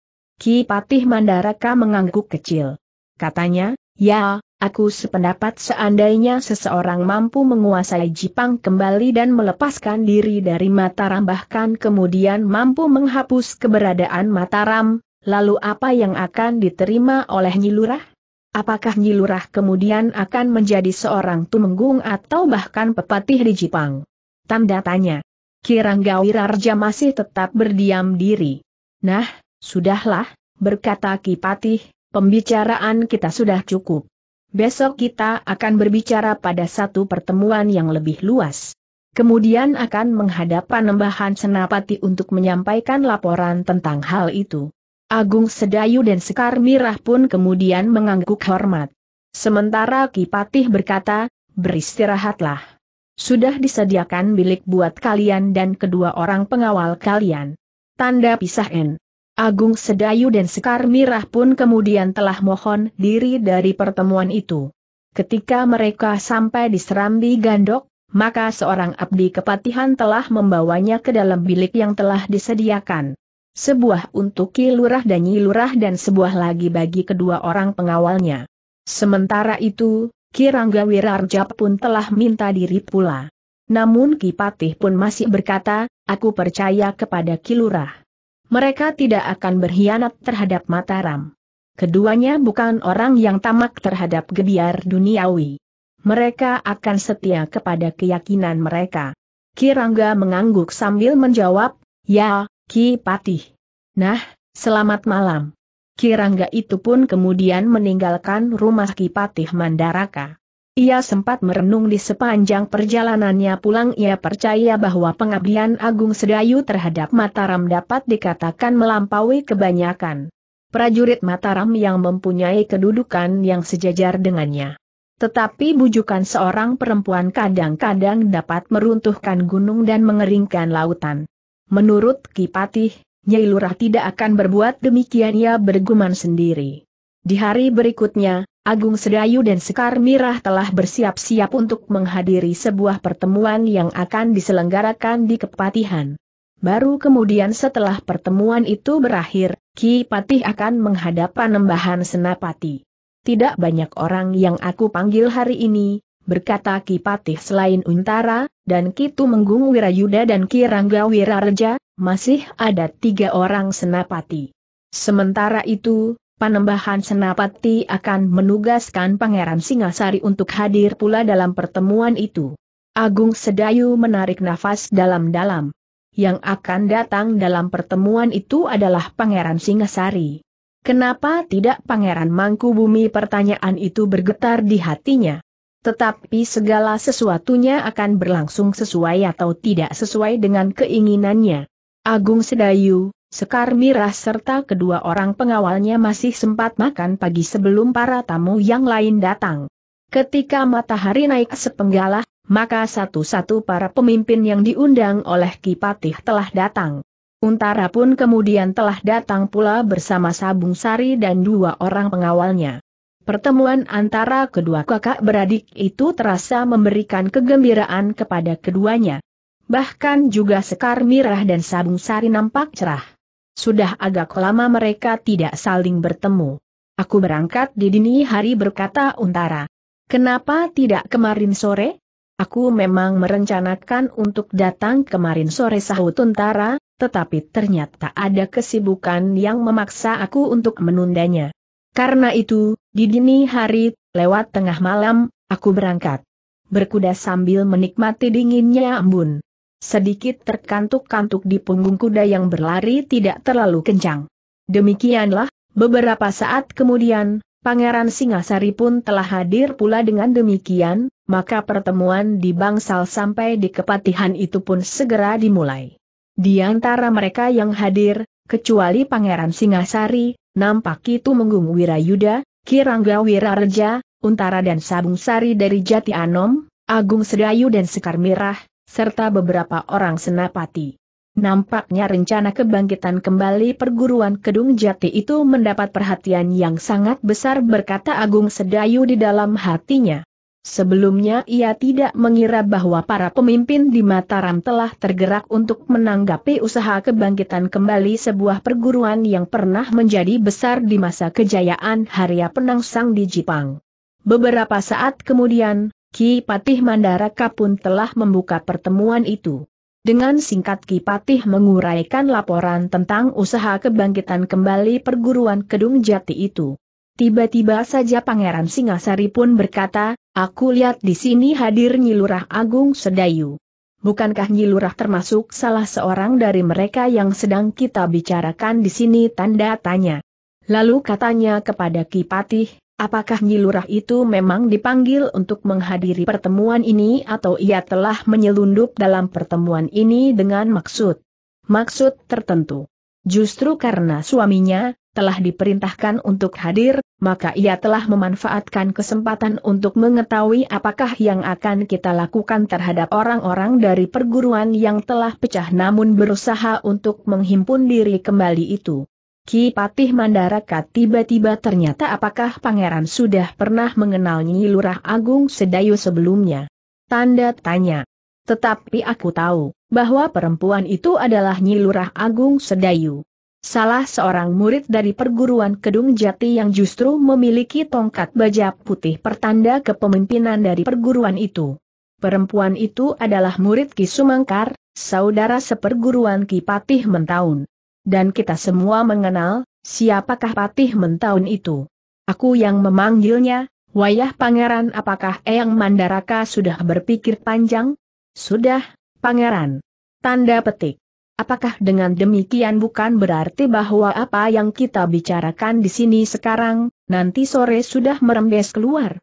Tanda petik. Ki Patih Mandaraka tersenyum. Katanya, aku mengenal betul kedua orang suami istri itu, sebagaimana Panembahan Senapati mengenal mereka. Aku sengaja memanggil Nyi Lurah Agung Sedayu agar kita semuanya dapat langsung mendengar apa yang telah terjadi atas mereka yang berniat untuk membangun kembali perguruan Kedung Jati itu. Maksudku bukan perguruan di Kedung Jati, tetapi perguruan yang dinamai Kedung Jati. Pangeran Singasari termangu-mangu sambil sekali-sekali memandang Sekar Mirah yang duduk sambil menundukkan kepalanya itu. Dengan nada tinggi ia pun kemudian berkata, Baiklah. Kita akan mendengarkan keterangan Nyilurah. Tetapi sebaiknya kita menyusun rencana untuk mengatasi bangkitnya perguruan itu tanpa kehadirannya. Aku memerlukan bukan saja keterangan-keterangannya. Pangeran. Tetapi juga pendapat-pendapatnya. Sudah aku katakan, bahwa kita tidak perlu mencurigainya. Tetapi baiklah, aku akan minta Nyi Lurah untuk menceritakan apa yang pernah terjadi dalam usaha membangkitkan kembali perguruan yang pernah menjadi besar pada masa Pajang diperintah oleh Harya Penangsang itu. Mereka yang hadir dalam pertemuan itu pun terdiam. Mereka mendengarkan dengan bersungguh-sungguh ketika Nyi Lurah Sekar Mirah menceritakan pertemuannya dengan kisah Balintang sejak awal. Seperti yang diduga, maka Pangeran Singasari pun kemudian bertanya, kenapa kalian lepaskan orang yang bernama Kisabalintang itu? Seperti pesan Kipatih Mandaraka, maka Nyi Lurah dan suaminya Ki Lurah telah memberikan penjelasan sebagaimana dikatakan kepada Ki Ranggawirarja. Namun seperti Ki Ranggawirarja, Pangeran Singasari pun kurang puas terhadap jawaban-jawaban Sekar Mirah dan Agung Sedayu. Bahkan Pangeran Singasari itu pun bertanya apakah perang tanding itu bukan merupakan arna perebutan pengaruh di lingkungan mereka atau hanya sekedar sebuah permainan untuk mengelabungi Mataram. Namun yang menjawab adalah Kipatih Mandaraka sendiri untuk mengelabui siapa? Perang tanding itu dilakukan tanpa diketahui oleh orang lain kecuali keluarga Kilurah Agung Sedayu. Baru ketika persoalan tentang bangkitnya kembali perguruan Kedung Jati itu dibicarakan, mereka memberitahukan bahwa telah pernah terjadi perang tanding. Sedangkan jika perang tanding itu merupakan semacam persaingan untuk berebut pengaruh, maka seharusnya Nyi Lurah sudah membunuh lawannya. Wajah Pangeran Singasari masih berkerut namun kemudian Untara pun telah berkata, ampun Pangeran. Bukan karena Agung Sedayu itu adalah adikku. Tetapi aku dapat memberikan sedikit penjelasan tentang sikap Ki Sumangkar pada saat hancurnya pasukan Jepang yang terakhir di sekitar Sangkal Putung. Ki Sumangkar yang lebih senang disebut sebagai juru masak daripada saudara seperguruan Patih Men tahun itu. Ki Sumangkar mempunyai perbedaan sikap dengan Toh Pati yang bergelar macan kepatihan. Nah, Sikap Ki Sumangkar itulah yang kemudian berpengaruh terhadap muridnya Sekar Mirah yang kemudian menjadi istri Agung Sedayu. Karena itu, aku sebagai senapati prajurit Mataram di Jati Anom, justru merasa perlu untuk menghadirkannya dalam pembicaraan ini kita bahkan akan dapat bekerja bersama dengan Nyi Lurah yang mudah-mudahan masih dapat berhubungan selanjutnya dengan orang-orang yang berusaha membangkitkan perguruan itu bukan merupakan kelanjutan mutlak dari arah perjuangan perguruan itu pada masa kekuasaan Harya Penangsang di Jepang. Kita masih belum tahu pasti, apa yang sebenarnya diinginkan oleh orang-orang yang berusaha untuk membangun kembali perguruan itu. Pangeran Singasari masih saja termangu-mangu. Namun Kipatih Mandaraka pun kemudian bertanya, apakah wayah pangeran masih meragukan kesetiaan Kilurah Agung Sedayu? Tanda petik. Aku tahu apa yang telah dilakukan Kilurah. Aku pun tahu hubungan yang dekat antara Kilurah dengan Panembahan Senapati. Apakah pangeran menganggap bahwa segala sesuatunya dapat berubah, termasuk sikap Kilurah terhadap Mataram? Ya, jawab Pangeran Singasari. Sementara itu Kitu Menggung Wirayuda pun berkata, aku berpendapat, bahwa kita dapat bekerja bersama Nyi Lurah Agung Sedayu. Kita sudah tahu dengan jelas, siapakah Nyi Lurah Agung Sedayu. Di mana rumahnya dan siapakah suaminya serta kedudukan suaminya.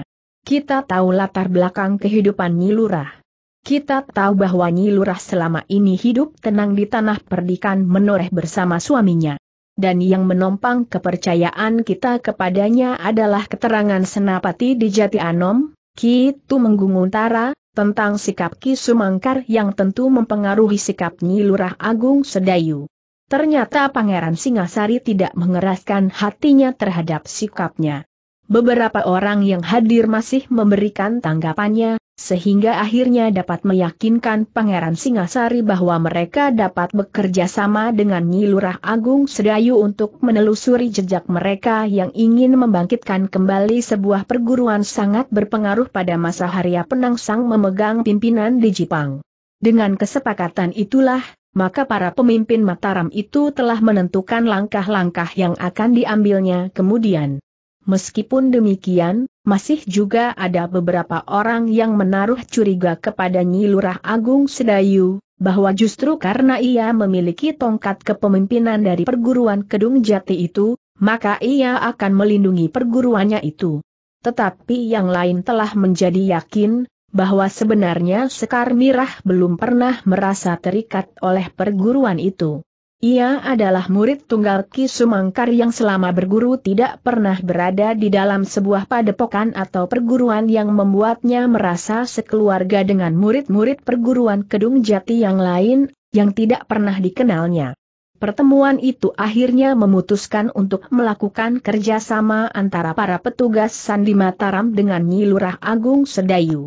Nyi Lurah akan berusaha untuk mendapat keterangan sebanyak-banyaknya tentang perguruan yang akan dibangkitkan lagi itu jika masih mungkin. Sebaliknya, Ki Lurah Agung Sedayu diberi wewenang untuk mempergunakan kekuatan para prajurit dari pasukan khusus yang berada di tanah perdikan menoreh, jika kekuatan dari orang-orang yang ingin membangkitkan perguruan Kedung Jati itu cukup besar. Karena pertemuan itu, sesuai keterangan Agung Sedayu dan Sekar Mirah, memperhitungkan dua kemungkinan yang dapat terjadi. Orang-orang yang menyebut murid-murid perguruan Kedung Jati itu akan datang menemui Sekar Mirah untuk ikut memimpin perguruan itu setelah ia memenangkan perang tanding, atau mereka akan datang dengan membawa dendam karena kematian Welat Wulung serta kekalahan Yidwani. Dengan demikian, maka kita akan dapat mulai, berkata Kipatih Mandaraka, tetapi pesanku, persoalan ini tidak usah diangkat ke permukaan sehingga tidak akan menimbulkan keresahan. Kita akan menanganinya dengan diam-diam. Mudah-mudahan persoalannya memang tidak begitu besar dan tidak begitu rumu. Tidak kita harus tetap berhati-hati menghadapi gerakan ini, Eyang.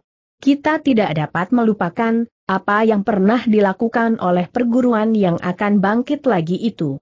Kesetiaan mereka kepada Eyang Harya Jipang akan dapat membuat mereka melakukan perbuatan-perbuatan di luar penalaran wajar. Bukan kesetiaan, sahut Kipatih Mandaraka, tetapi justru pamrih. Kebangkitan dari perguruan itu serta kesetiaan mereka kepada Harya Penangsang tidak lebih dari sekedar landasan. Pangeran Singasari mengangguk-angguk. Katanya baiklah. Aku akan melaporkan hasil dari pembicaraan ini kepada Panembahan Senapati. Baik, Pangeran. Tetapi aku pun akan menghadap Panembahan setelah pertemuan ini selesai.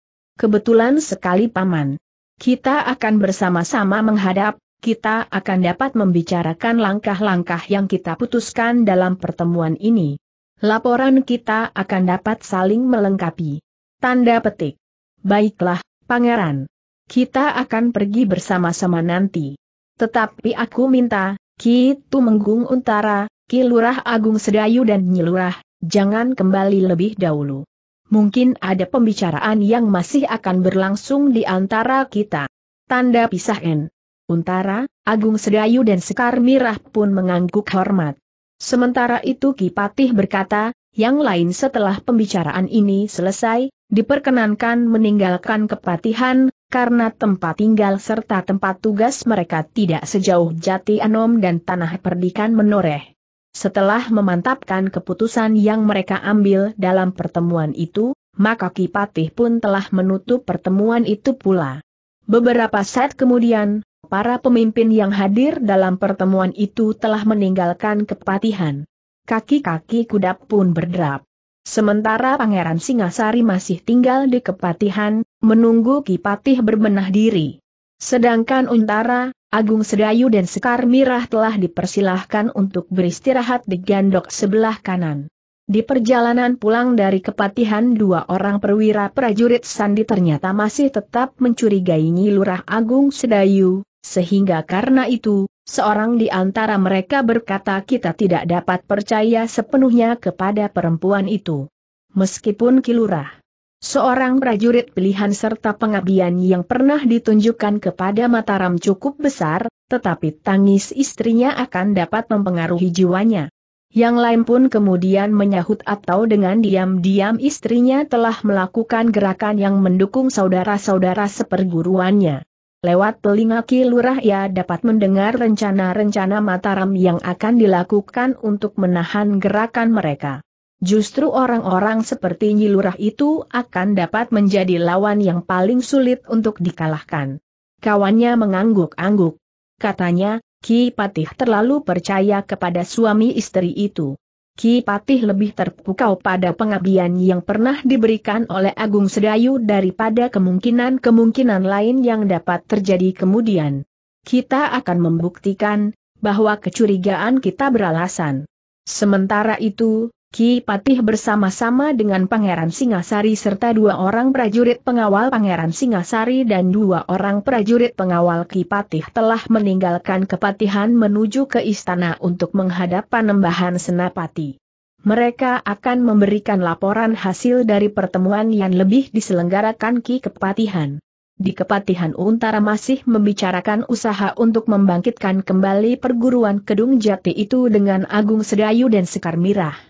Di dalam pembicaraan yang bebas itu, Untara justru mendapat lebih banyak keterangan tentang orang yang menyebut dirinya kisah Balintang, Welat Wulung, Empui Sanata dan Nyidwani. Untara pun mendapat lebih banyak gambaran tentang sifat orang-orang yang disebut oleh Agung Sedayu dan Sekar Mirah. Sabung Sari yang juga masih berada di kepatihan karena Untara masih diminta untuk tinggal, ikut pula dalam pembicaraan itu. Memang tugas para prajurit Sandi untuk mengikuti perkembangan dari usaha untuk membangkitkan kembali perguruan Kedung Jati itu. Tetapi apa salahnya jika kita ikut membantu mereka, berkata Untara kepada Sabung Sari. Sabung Sari mengangguk kecil. Katanya, asal tidak terjadi salah paham. Mungkin cara yang kita tempuh tidak sesuai dengan cara yang mereka pergunakan atau bahkan bertentangan. Jika kemungkinan itu terjadi pada satu saat, maka kita harus mengalah. Yang kita lakukan justru harus membantu usaha mereka. Bukan sebaliknya, sahut Untara. Namun kemudian ia pun menambahkan kecuali Sekar Mirah. Ia memang mendapat tugas bersama-sama dengan para prajurit sandi itu. Sebenarnya aku merasa cemas berkata Sekar Mirah apakah aku dapat melakukan tugas ini dengan baik. Aku justru cemas, jika aku salah langkah, aku akan dikira dengan sengaja melakukannya untuk kepentingan kisah Balintang dengan para pengikutnya. Tentu tidak, sahut Untara, jika tugas ini kita lakukan dengan jujur dan bersungguh-sungguh, maka kita tentu akan berhasil dengan baik. Dalam pada itu, Agung Sedayulah yang kemudian bertanya, Kakang, sebenarnya yang ingin aku ketahui, bagaimana mungkin tongkat yang satu, yang pernah dimiliki oleh Toh Pati yang bergelar macan kepatihan itu dapat berada di tangan Kisabalintang. Pertanyaan itulah yang aku takutkan berkata, untara aku memang pernah menyimpan tongkat baja putih itu. Tetapi setelah sekian lama berada di dalam simpanan dan tidak pernah disentuh lagi, justru aku hampir melupakannya.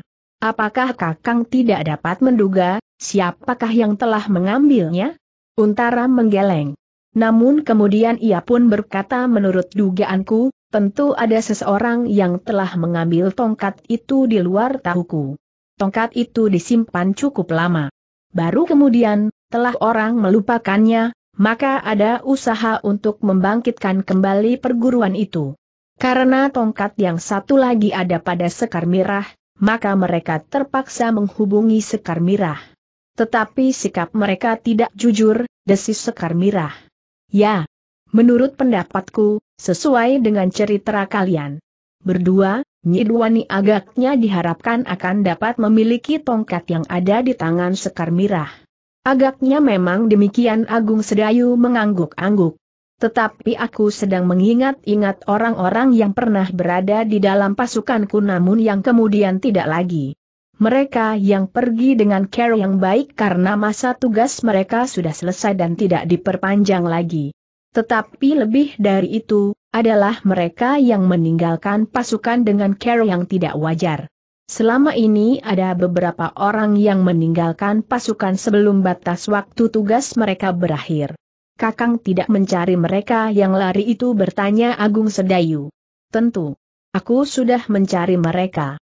Tetapi aku tidak pernah menghubungkan kepergian mereka dengan tongkat baja putih yang terus terang agak aku lupakan itu. Mereka akan dapat menjadi salah satu jalan untuk menelusuri tongkat baja putih itu sehingga dapat sampai ke tangan Kisabalintang. Besok aku akan mengumpulkan para perwira di baraku untuk menemukan orang itu. Tetapi untuk menemukan mereka juga merupakan pekerjaan yang sangat rumit. Agung Sedayu mengangguk-angguk. Ia dapat mengerti kesulitan itu, karena orang-orang yang lari dari kesatuannya itu tentu berusaha untuk menyembunyikan dirinya. Mengganti namanya atau sengaja menibuat dirinya berbeda. Meskipun demikian, namun usaha itu dapat dilakukan di samping usaha-usaha yang lain. Kita harus selalu berhubungan berkata, untara aku dapat merasakan, bahwa ada beberapa orang yang tidak mau mengerti apa yang sebenarnya terjadi. Mereka masih saja curiga, bahwa Sekar Mirah merupakan salah seorang dari mereka yang ingin membangkitkan kembali peguruan Kedung Jati. Karena itu, maka kita setiap kali harus seling memberikan keterangan. Ya, Kakang, sahut Agung Sedayu dan Sekar Mirah hampir bersamaan. Namun kemudian Sekar Mirah itu pun bertanya, apakah sebaiknya aku memberikan kepada Kakang Suandaru atau tidak? Jangan dulu, Mirah, sahut Agung Sedayu, kita tahu sifat Suandaru. Ia cepat terseret arus ia akan dapat mengambil tindakan sendiri yang justru akan merugikan kedudukanmu yang sedang menjadi sorotan.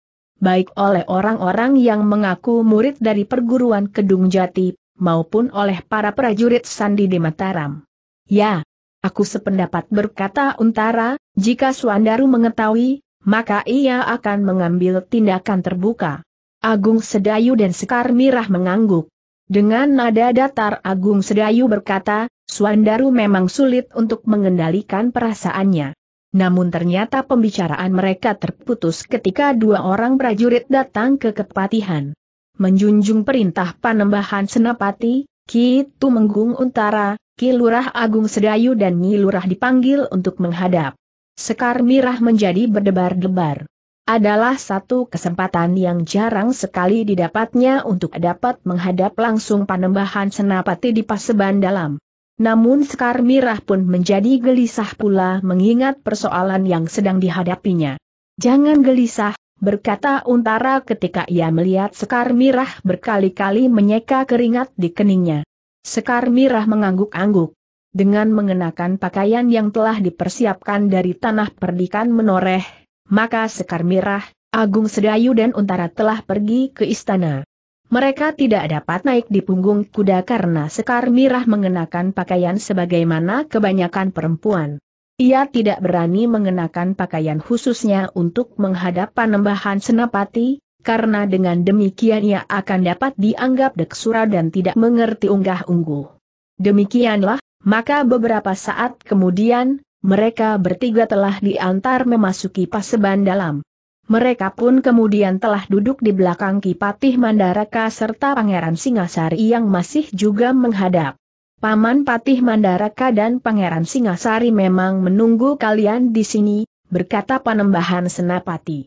Ketika ketiganya sudah duduk sambil menundukkan kepala mereka.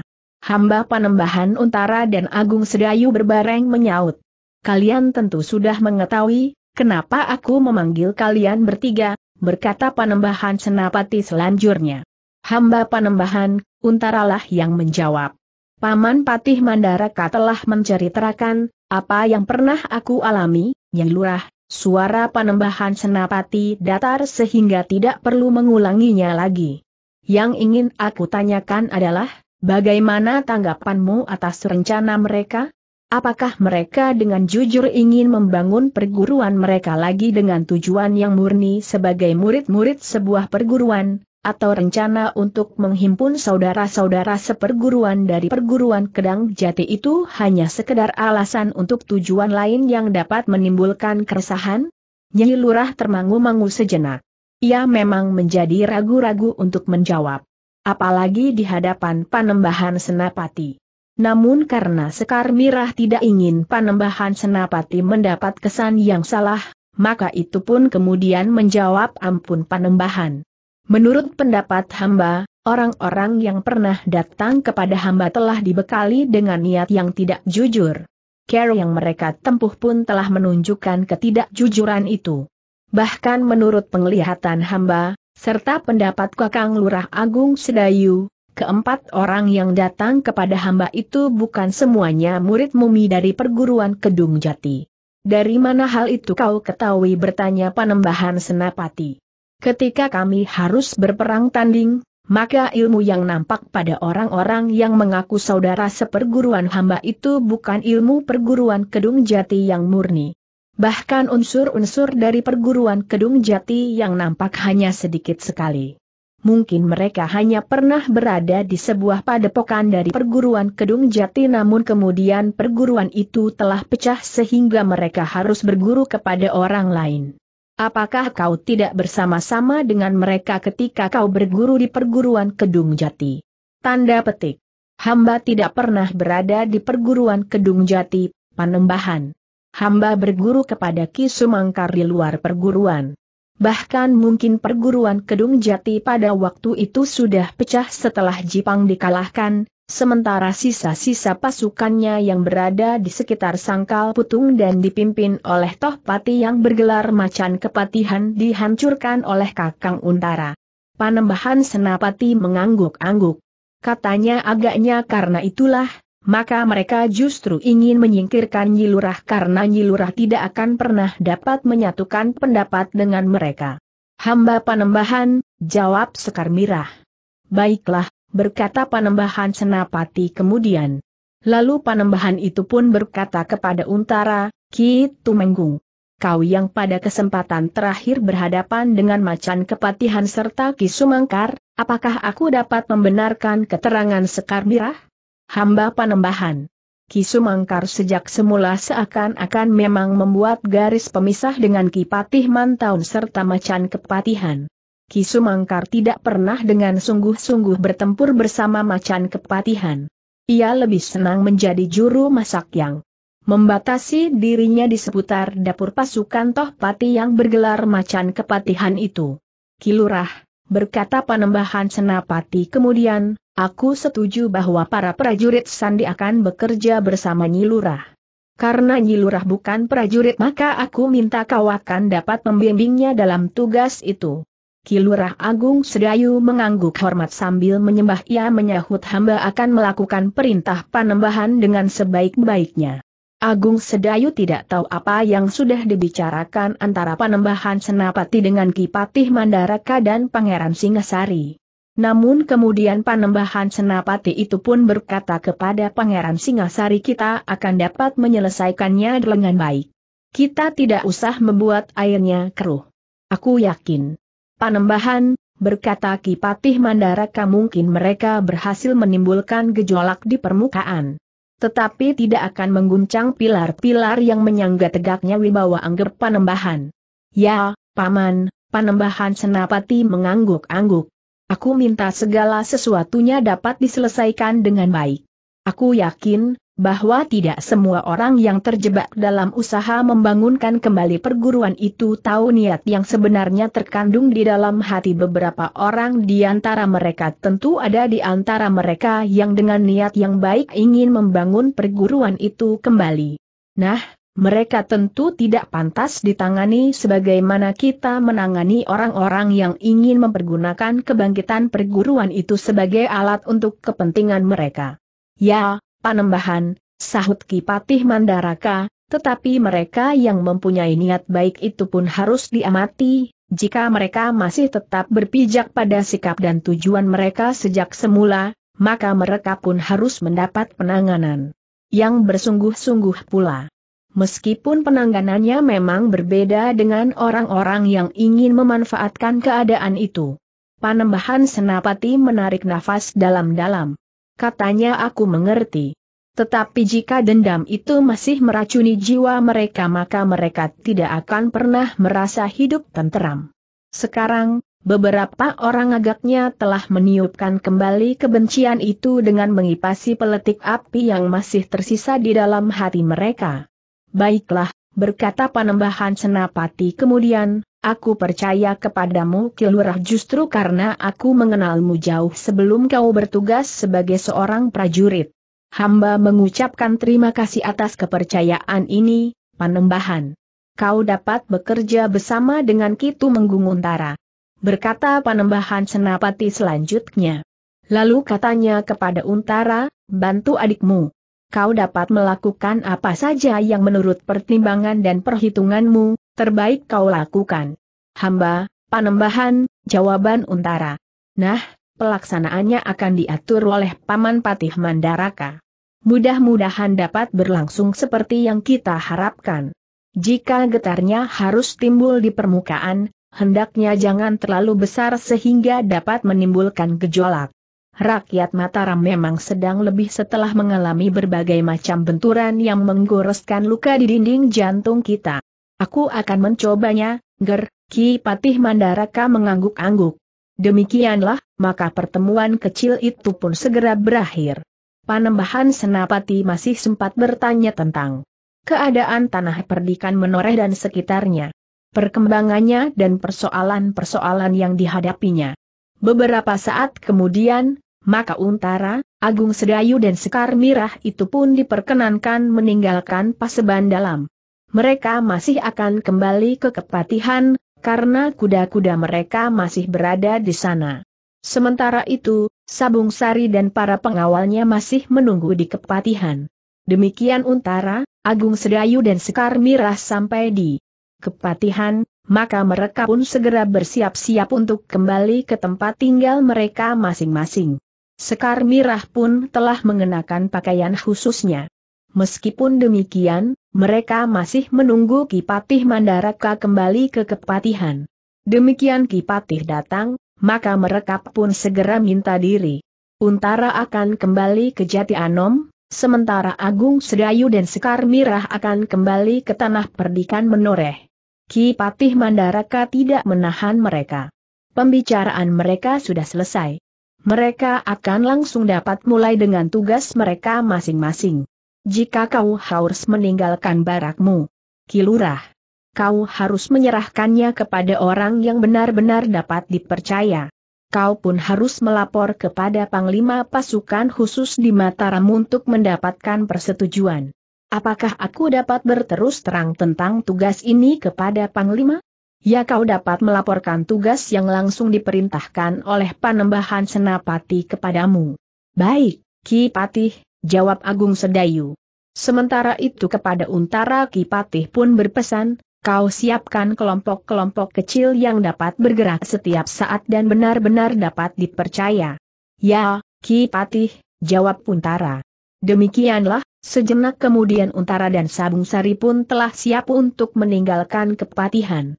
Agung Sedayu ternyata masih sempat berbisik di telinga Sabung Sari, kapan kau lengkapi hidupmu dengan sebuah keluarga yang utuh? Jangan menunggu kau menjadi tua. Sabung Sari tersenyum tetapi ia tidak menjawab. Namun sepeninggal Untara dan Sabung Sari, pertanyaan Agung Sedayu itu justru telah tertuju kepada dirinya sendiri. Keluarganya pun masih belum merupakan keluarga yang utuh. Di dalam rumahnya belum pernah terdengar tangis seorang bayi. Belum pernah terdengar rengek manja kanak-kanak dan istrinya belum pernah mencuci popok, gurita dan pakaian bayi yang lain. Tetapi Agung Sedayu mendekap pertanyaan itu di dalam dadanya. Ia tidak sampai hati mengucapkannya di hadapan istrinya. Sekar Mirah akan dapat menjadi bersedih, karena Sekar Mirah sudah sejak lama merindukan seorang anak. Tetapi agaknya mereka berdua masih, belum dikaruniai keturunan. Agung Sedayu tidak dapat merenung terlalu lama. Ia pun segera mengajak Sekar Mirah serta para pengawalnya kembali ke tanah perdikan menorah. Selama Agung Sedayu dan Sekar Mirah berada di Mataram, tidak terjadi sesuatu yang menarik di tanah perdikan. Orang-orang yang pernah dilihat berkeliaran di malam hari, justru tidak pernah nampak lagi. Di rumah, Sukra dengan sungguh-sungguh berlatih olah kanuraan. Gelagah putih lebih banyak menyediakan waktu bagi anak itu di sore dan malam hari. Demikian besar hasrat yang menyala di dada anak itu, sehingga gelagah putih pun tidak menyia-nyiakannya. Seperti yang diduga oleh gelagah putih sejak semula, Sukra adalah anak yang cerdas. Ia cepat menangkap unsur-unsur gerak yang baru yang diajarkan oleh gelagah putih. Ditambah oleh ketekunannya dan niat yang membara di dalam dadanya. Ketika Agung Sedayu kemudian kembali, Sukra justru menjadi cemas. Jika Agung Sedayu membawa tugas bagi Gelagah Putih, maka latihan-latihan yang diberikan oleh Gelagah Putih akan terhambat. Tetapi ternyata Gelagah Putih tidak mendapat tugas untuk meninggalkan tanah perdikan.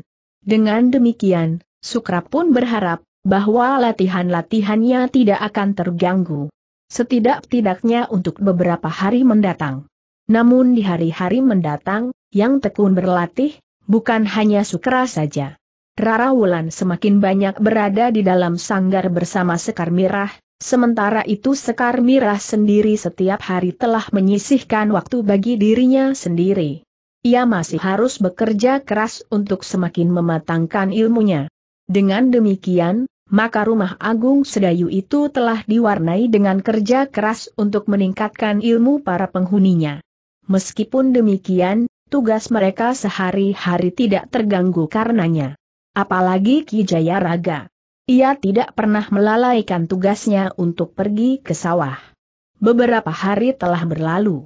Agung Sedayu dan Sekar Mirah masih belum mulai dengan langkah-langkah mereka untuk membantu para petugas Sandi Mataram mengamati gerakan orang-orang yang berusaha untuk menyusun kembali sebuah perguruan yang telah pecah bersamaan dengan pecahnya kekuasaan Harya Penangsang di Jepang. Hari-hari yang nampaknya tidak diwarnai dengan kegiatan apa pun itu, telah dipergunakan sebaik-baiknya oleh Sekar Mirah untuk semakin membajakan diri sambil menunggu, Apakah masih akan ada orang yang datang menghubunginya setelah perang tanding yang dilakukannya melawan seorang perempuan yang disebut bernama Nidwani? Sebenarnya lah, Sekar Mirah tidak sia-sia menunggu. Seorang laki-laki yang berjanggut dan berkumis putih telah datang kepadanya menjelang tengah hari. Apakah aku berhadapan dengan Nyi Lurah Agung Sedayu? Tanda tanya bertanya orang itu setelah duduk di pendapat ditemui oleh Sekar Mirah. Ya, Kisanak. Tetapi siapakah Kisanak ini? Orang memanggilku Kisawung Semedi. Sawung Semedi, Sekar Mirah mengangguk-angguk. Namun ia pun kemudian bertanya, apakah keperluan Kisawung Semedi datang menemui aku? Aku datang untuk mohon maaf, Nyai Lurah jawab Kisawung Semedi. Minta maaf tentang apa? Apakah Kisanak pernah merasa bersalah kepadaku? Bukan aku. Tetapi seorang yang semula kita harapkan datang menjadi suh pengikat keluarga yang telah berserakan. Tanda pisah N. Maksud Kisawung Semedi? Bukankah Sabalintang pernah datang menemui Nyilurah? Tanda tanya. Sekar Mirah mengerutkan dahinya. Namun ia pun menjawab. Tanda pisah N. Ya, Kisawung Semedi Kisabalintang memang pernah datang kemari. Tetapi ia sudah menimbulkan onar. Ia membawa seorang perempuan yang akan diperistrikannya. Namanya Nyidwani. Itu tidak menjadi soal bagi keluarga perguruan Kedung Jati yang sudah berserakan itu jika saja Sabalintang tidak terlalu bernafsu untuk merebut tongkat yang ada pada Nyi Lurah agar dimiliki oleh perempuan yang bernama Nyidwani itu. Lah berharap jika tongkat itu ada di tangan Nyidwani dan Nyidwani kelak menjadi istrinya, maka Sabalintang dan Nyiduani akan menjadi sepasang suami istri yang akan memegang kepemimpinan perguruan Kedung Jati yang akan bangkit itu. Sekar Mirah mengangguk-angguk. Tetapi ia tetap menyadari, bahwa ia harus berhati-hati menghadapi orang-orang yang tidak dikenalnya sebelumnya. Orang-orang yang tidak diketahui sifat dan wataknya. Sementara itu, Kisawung Semedi itu pun berkata, Nyai Lurah, kami sudah mengambil keputusan, bahwa kepemimpinan perguruan kita harus tetap berada di tangan Nyi Lurah. Siapakah yang kau maksud dengan kami bertanya Sekar Mirah? Kisawung Semedi itu tertegun sejenak. Dahinya berkerut dalam. Namun kemudian ia pun berkata, maaf Nyi Lurah. Yang aku maksud dengan kami adalah beberapa orang yang sudah menyatakan dirinya untuk ikut membangun perguruan Kedung Jati. Kami tetap menakuti Ki Sabalintang sebagai salah seorang pemimpin kami. Tetapi yang seorang lagi bukan orang yang dipilih oleh Ki Sabalintang. Apalagi seorang perempuan yang ingin diperistrinya. Tetapi hak itu harus tetap berada di tangan Nyilurah. Apakah aku harus bekerja bersama dengan Kisabalintang dan Empu Sanata? Kita memang tidak dapat mengingkari kepemimpinan Kisabalintang. Sedangkan Empu Sanata terseret dalam perjuangan ini karena ia ayah Nyidwani. Jadi Empu Sanata bukan murid perguruan Kedung Jati. Tanda tanya. Bukan Nyilurah. Empu Sanata memang menyatakan, kesediaan untuk membantu Kisabalintang untuk membangun perguruan Kedung Jati. Tetapi itu merupakan kerja sukarela. Tetapi kita tahu, bahwa Empu Sanata mengharapkan anaknya akan dapat menjadi pasangan Kisabalintang memimpin sebuah perguruan yang pernah besar dan akan menjadi besar kembali. Lalu, apakah rencana Kisabalintang pada waktu dekat? Koma. Sebuah pertemuan kami tetap menginginkan sebuah pertemuan pendahuluan. Jadi, apakah tugas Kisawung Semedi ini sebenarnya? Sekedar minta maaf, atau ada tugas yang lain? Baiklah aku menyampaikannya sama sekali Nyi. Sebenarnya aku juga bertugas untuk minta keterangan Nyi Lurah, tentang kesediaan Nyi Lurah untuk hadir dalam sebuah pertemuan. Aku pernah mengatakan kepada Kisah Balintang, bahwa pertemuan itu sebaiknya diselenggarakan di Tanah Perdikan. Kami mohon, Nyi. Kami mohon Nyi Lurah bersedia bertemu dengan beberapa orang murid perguruan Kedung Jati di ujung Kali Geduang. Di rumah Empu Sanata? Tanda petik. Ya, Nyi. Sekar Mirah menarik nafas dalam-dalam. Katanya titik aku sudah mengatakan berpuluh kali. Aku bersedia datang jika pertemuan itu diselenggarakan di Tanah Perdikan. Apalagi setelah Nyiduani menantang perang tanding. Bahkan aku pun yakin, bahwa Nyiduani tentu juga bukan murid perguruan Kedung Jati. Mungkin ia sering berlatih bersama Kisabalintang sehingga Kisabalintang dapat memberikan beberapa petunjuk tentang unsur-unsur gerak yang merupakan ciri dari perguruan Kedung Jati. Aku memang melihat unsur-unsur itu tetapi terlalu kecil jika dibandingkan dengan keseluruhan ilmu Nyidwani. Aku pun harus berterus terang, Nyi. Nyidwani memang bukan murid perguruan Kedung Jati. Dugaan Nyilurah memang tepat Nyidwani adalah murid dari perguruan lain yang oleh Kisabalintang diberikan beberapa petunjuk mengenai ciri-ciri perguruan Kedung Jati. Mereka memang kurang berhati-hati. Justru mereka menantang untuk menyelenggarakan perang tanding antara aku dan Nyi Dwani. Bukankah dengan demikian mereka menunjukkan diri, bahwa mereka telah berbohong? Nyi Lurah benar. Hal itu dilakukan dengan alasan sebagaimana aku katakan. Kisah Lintang ingin memegang pimpinan perguruan Kedung Jati bersama Nyi Dwani. Sepasang tongkat itu akan berada di tangan suami istri. Tanda petik. Itu pertanda bahwa niat mereka membangun kembali perguruan Kedung Jati tidak disertai kejujuran. Itulah yang kami sesalkan. Beberapa orang yang kemudian sempat mengadakan pembicaraan telah minta kisah Balintang untuk meluruskan sikapnya. Kami tidak akan mengganggu gugat niat kisah Balintang menikah untuk yang ketiga kalinya dengan Nyiduani yang juga akan menikah. Untuk ketiga kalinya itu hak mereka jika mereka memang sudah sepakat tetapi hal itu tidak ada hubungannya dengan kepemimpinan pada perguruan ini. Tetapi kisah Balintang itu mendendam kami. Aku, suamiku dan seluruh keluargaku, berkata Nyilurah. Orang yang mengaku bernama Kisawung Semedi itu berkata, semuanya sudah diluruskan. Termasuk dendam yang membakar jantung Kisah Balintang. Bagaimana dengan Ki Wulat Wulung tanda tanya? Kami harus mengikhlaskannya sebenarnya Ki Wulat Wulung justru seorang murid perguruan Kedung Jati. Yang setia. Kesediaannya itu tercermin pada kesetiaannya kepada Ki Sabalintang. Tetapi cacat jiwa Ki Wulat Wulung telah menyeretnya ke dalam malapetaka, Sekar Mirah mengangguk-angguk. Ia melihat sikap yang agak berbeda pada Kisawung Semedi. Agaknya dada Kisawung Semedi itu lebih lapang dari dada Kisah Balintang, apalagi Ki Wulat Wulung. Meskipun demikian, Sekar Mirah itu pun masih juga tetap pada pendiriannya. Karena itu, maka ia pun berkata Kisawung Semedi. Aku hargai pengakuan beberapa orang yang bersedia membantu usaha membangunkan kembali perguruan Kedung Jati terhadap kepemimpinanku, karena aku memiliki tongkat ciri dari perguruan. Tetapi aku minta pengakuan itu diwujudkan dalam satu sikap yang nyata. Aku minta pertemuan itu diselenggarakan di tanah perdikan menoreh. Tidak di tempat lain. Kisawung Semedi menarik nafas dalam-dalam.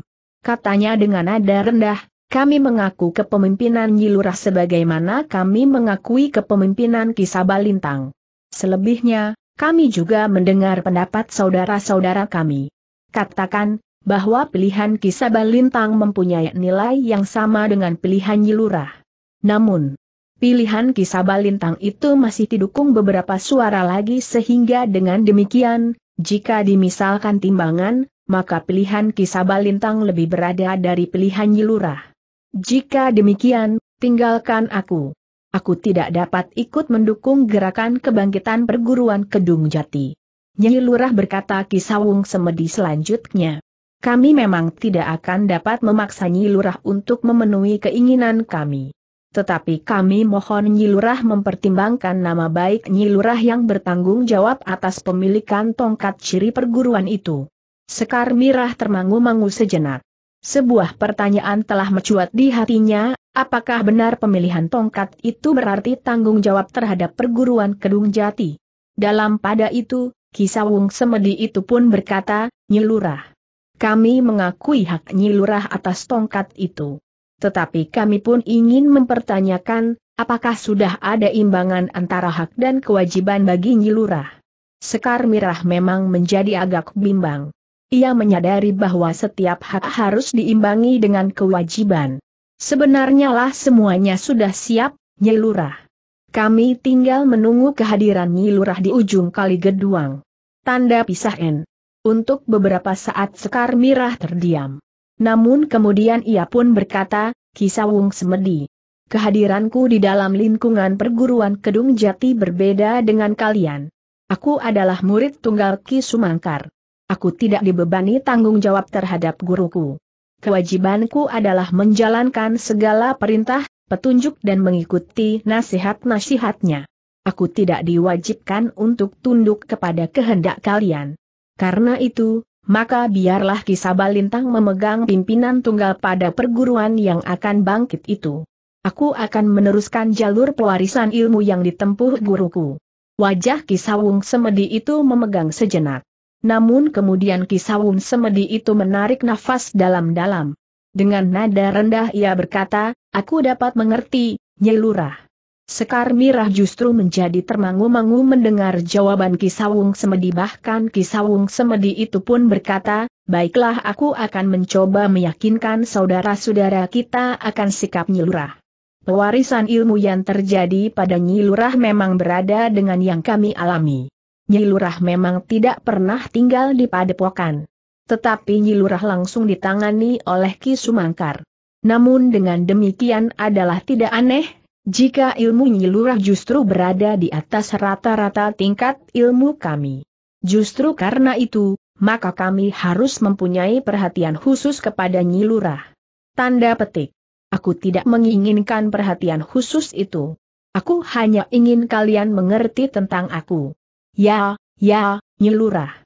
Aku akan menyampaikannya kepada saudara-saudara kita. Terima kasih, Kisawung Semedi. Kisawung Semedi itu pun mengangguk-angguk. Namun kemudian ia pun berkata, aku akan mohon diri. Selanjutnya, akulah yang diutus untuk menemui Nyilurah. Kisabal Lintang tidak lagi bersedia datang menemui Nyilurah. Nampaknya ia masih belum dapat menjinakkan perasaan dendamnya. Jika ia datang kemari maka akan mungkin terjadi salah paham karena kisah Balintang tidak dapat mengendalikan dirinya. Sementara itu ia harus mengakui bahwa ilmunya tidak lebih tinggi dari ilmu Kilurah Agung Sedayu. Silahkan, Kisawung Semedi. Katakan kepada saudara-saudara kita, bahwa kau tetap pada pendirianku.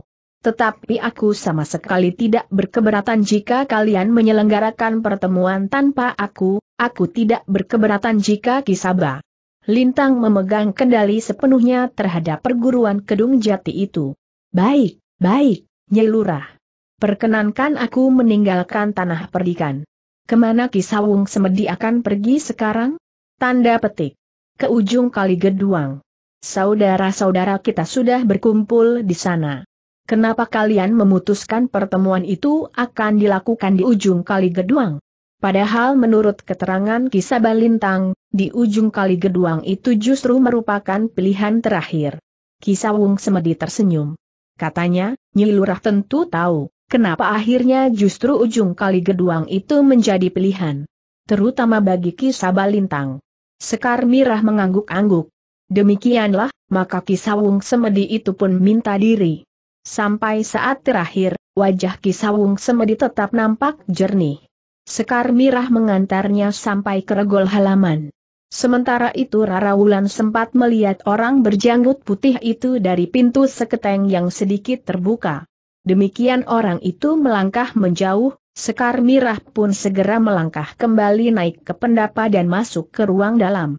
Siapakah orang itu? Mbokayu bertanya Rara Wulan. Salah seorang murid dari perguruan Kedung Jati. Kawan kisah Balintang? Ya. Untuk apa ia datang kemari? Nampaknya orang itu mengambil alih tugas kisah Balintang. Orang itu mencoba membujuk agar aku bersedia, datang di pertemuan yang diselenggarakan di ujung kaki Geduang.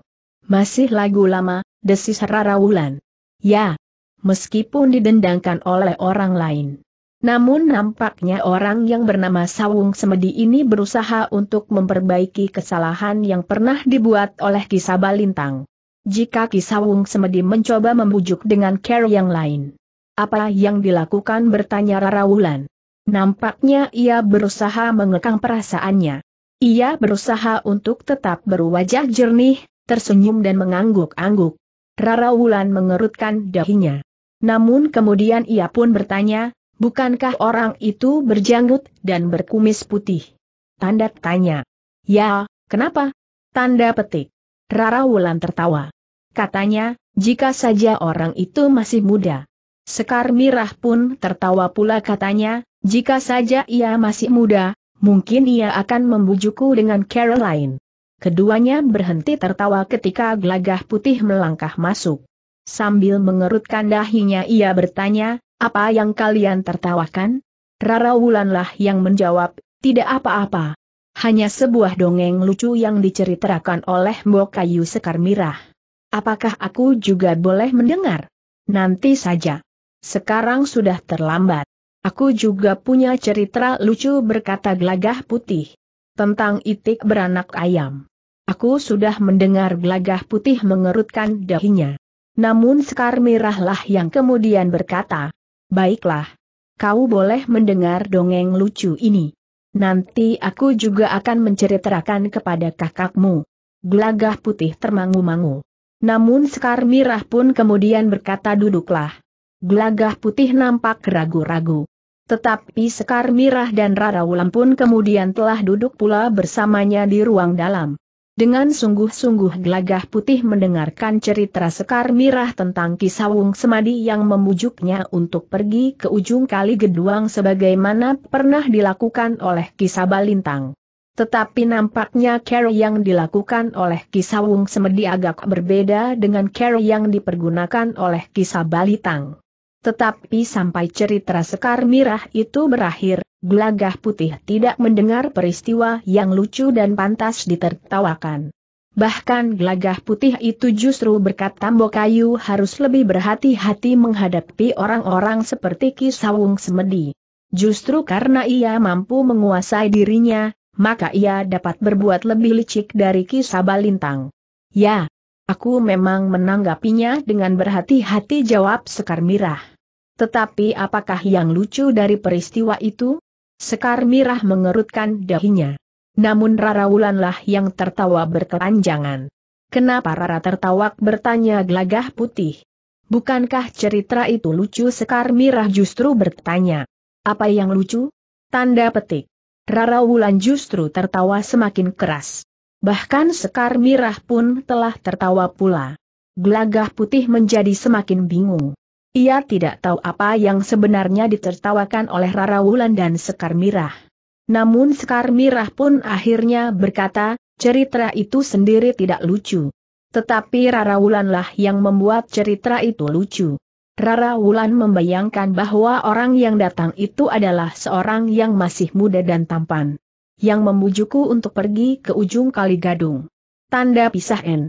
Ah, gelagah putih menarik nafas dalam-dalam. Namun ia pun mulai tersenyum pula. Yang lucu adalah Rara Wulan, berata Sekar Mirah kemudian. Gelagah putih yang tersenyum itu pun berkata jika yang datang masih muda dan tampan, tentu yang dibujuknya bukan hanya Mokayu Sekar Mirah. Rara Wulan yang masih tertawa, itu pun tiba-tiba terdiam. Dengan kerut di kening ia bertanya, jadi siapa? Tanda petik. Gelagah putihlah yang kemudian tertawa. Katanya meskipun bukan murid perguruan Kedung Jati jadi siapa tanda tanya. Gelagah putih pun kemudian bangkit berdiri. Sambil berjalan ke arah pintu ia tertawa sambil menjawab, barangkali Sukra atau yang lain. Rara Wulam pun tiba-tiba bangkit namun gelagah.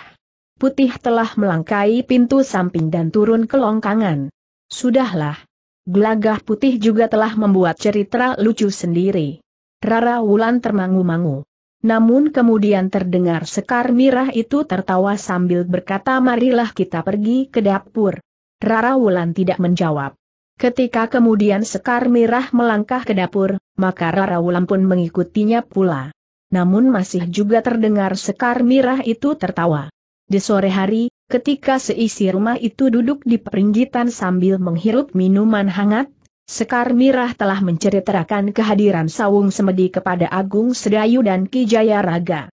Keduanya mendengarkan cerita Sekar Mirah itu dengan bersungguh-sungguh. Namun seperti gelagah putih, Ki Jaya Raga pun berkata, Nyilurah harus menjadi lebih berhati-hati menghadapi orang seperti Ki Sawung Semedi nampaknya ia lebih dapat mengendalikan dirinya, sehingga ia pun lebih pandai berpura-pura. Ia dapat menyembunyikan kemarahannya, ia pun dapat menahan gejolak perasaannya ia dapat menunggu dengan sabar kesempatan terbaik untuk menjebak sasarannya. Sekar Mirah mengangguk-angguk sambil berkata aku akan semakin berhati-hati, Ki Jaya Raga. Apakah orang itu akan datang lagi bertanya Agung Sedayu. Koma mungkin orang itu akan datang lagi, Kakang, jawab Sekar Mirah. Mungkin kau dapat menyadap beberapa keterangan tentang rencana pertemuan itu. Jadi ia datang kembali, aku akan berusaha kakang. Tetapi tadi pagi aku masih menunjukkan sikapku sebelumnya. Aku tidak bersedia datang jika pertemuan itu tidak diadakan di tanah perdikan ini. Ya, kau memang tidak dapat menunjukkan perubahan sikap dengan tiba-tiba, karena hal itu justru akan dapat menimbulkan kecurigaan. Menurut keterangan Kisawung Semedi, saat ini beberapa orang telah berkumpul di ujung kali Geduang. Mereka tinggal menunggu kesediaanku untuk datang. Kami mengharap orang itu akan datang lagi. Namun tiba-tiba saja gelagah putih berkata, apakah sebaiknya aku pergi ke ujung kali Geduang?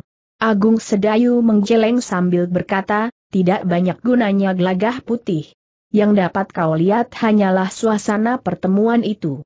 Tetapi sulit bagimu untuk mengetahui, apa yang mereka bicarakan dalam pertemuan itu, karena kau tidak akan mendapat kesempatan untuk memasuki ruangan pertemuan. Bahkan kemungkinan yang buruk akan dapat terjadi pada dirimu. Apalagi jika kisah Balintang dapat mengetahui kehadiranmu di ujung kali geduang. Kematian Ulat Wulung tidak akan pernah dilupakannya, Gelagah putih mengangguk-angguk. Katanya, ya, aku mengerti. Tetapi setidak-tidaknya aku dapat mengetahui di mana pertemuan itu diselenggarakan. Tetapi dibandingkan dengan bahaya yang kau hadapi, maka hasilnya tidak akan seimbang. Gelagah putih pun terdiam. Rara Wulan yang sudah menjadi cemas bahwa gelagah putih akan pergi ke ujung kali geduang, menarik nafas dalam-dalam. Kita akan merencanakan kemudian, apa yang akan kita lakukan, berkata Agung Sedayu, tetapi Sekar Mirah akan berusaha agar orang itu tetap menghubunginya. Tetapi Nyilurah harus tetap berhati-hati. Orang itu tentu akan dapat mengatakan yang putih menjadi hitam dan yang hitam menjadi putih, berkata Ki Jayaraga kemudian. Aku akan selalu mengingatnya, Ki Jayaraga, sahut Sekar Mirah. Baiklah. Kita akan menunggu perkembangannya. Jika orang itu tidak kembali lagi, maka kita harus mengambil langkah-langkah yang dapat membantu para petugas sandi mengamati para murid dari Kedung Jati itu. Tetapi malam itu mereka belum tahu, langkah-langkah apa yang akan dapat mereka ambil.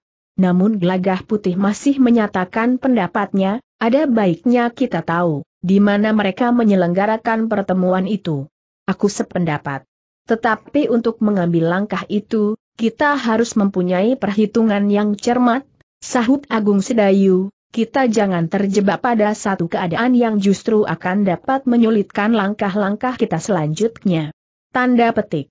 Gelagah putih mengangguk-angguk, sementara Ki Jaya Raga berkata, kita memang tidak boleh tergesa-gesa menentukan apa yang akan kita lakukan.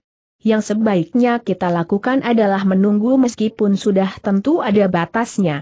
Jika saja Kisawung Semedi itu kembali menunggu memang terasa menjemukan. Rasa-rasanya hari-hari pun berjalan sangat lamban. Namun seisi rumah Agung Sedayu itu dapat mengisi waktu-waktu luang mereka dengan kesibukan di sanggar. Bahkan Sukra pun ikut menyibukkan dirinya pula, meskipun ia lebih banyak mempergunakan sanggar terbuka di sudut kebun belakang bersama gelagah putih. Tetapi sanggar itu ternyata cukup memadai. Sementara itu, para petugas sandi pun belum menunjukkan langkah-langkah berarti. Masih belum nampak gejolak yang menarik perhatian. Yang dilakukan oleh para petugas sandi barulah mengamati keadaan. Beberapa orang sumber dari para petugas sandi itu seakan-akan justru telah kehilangan jejak.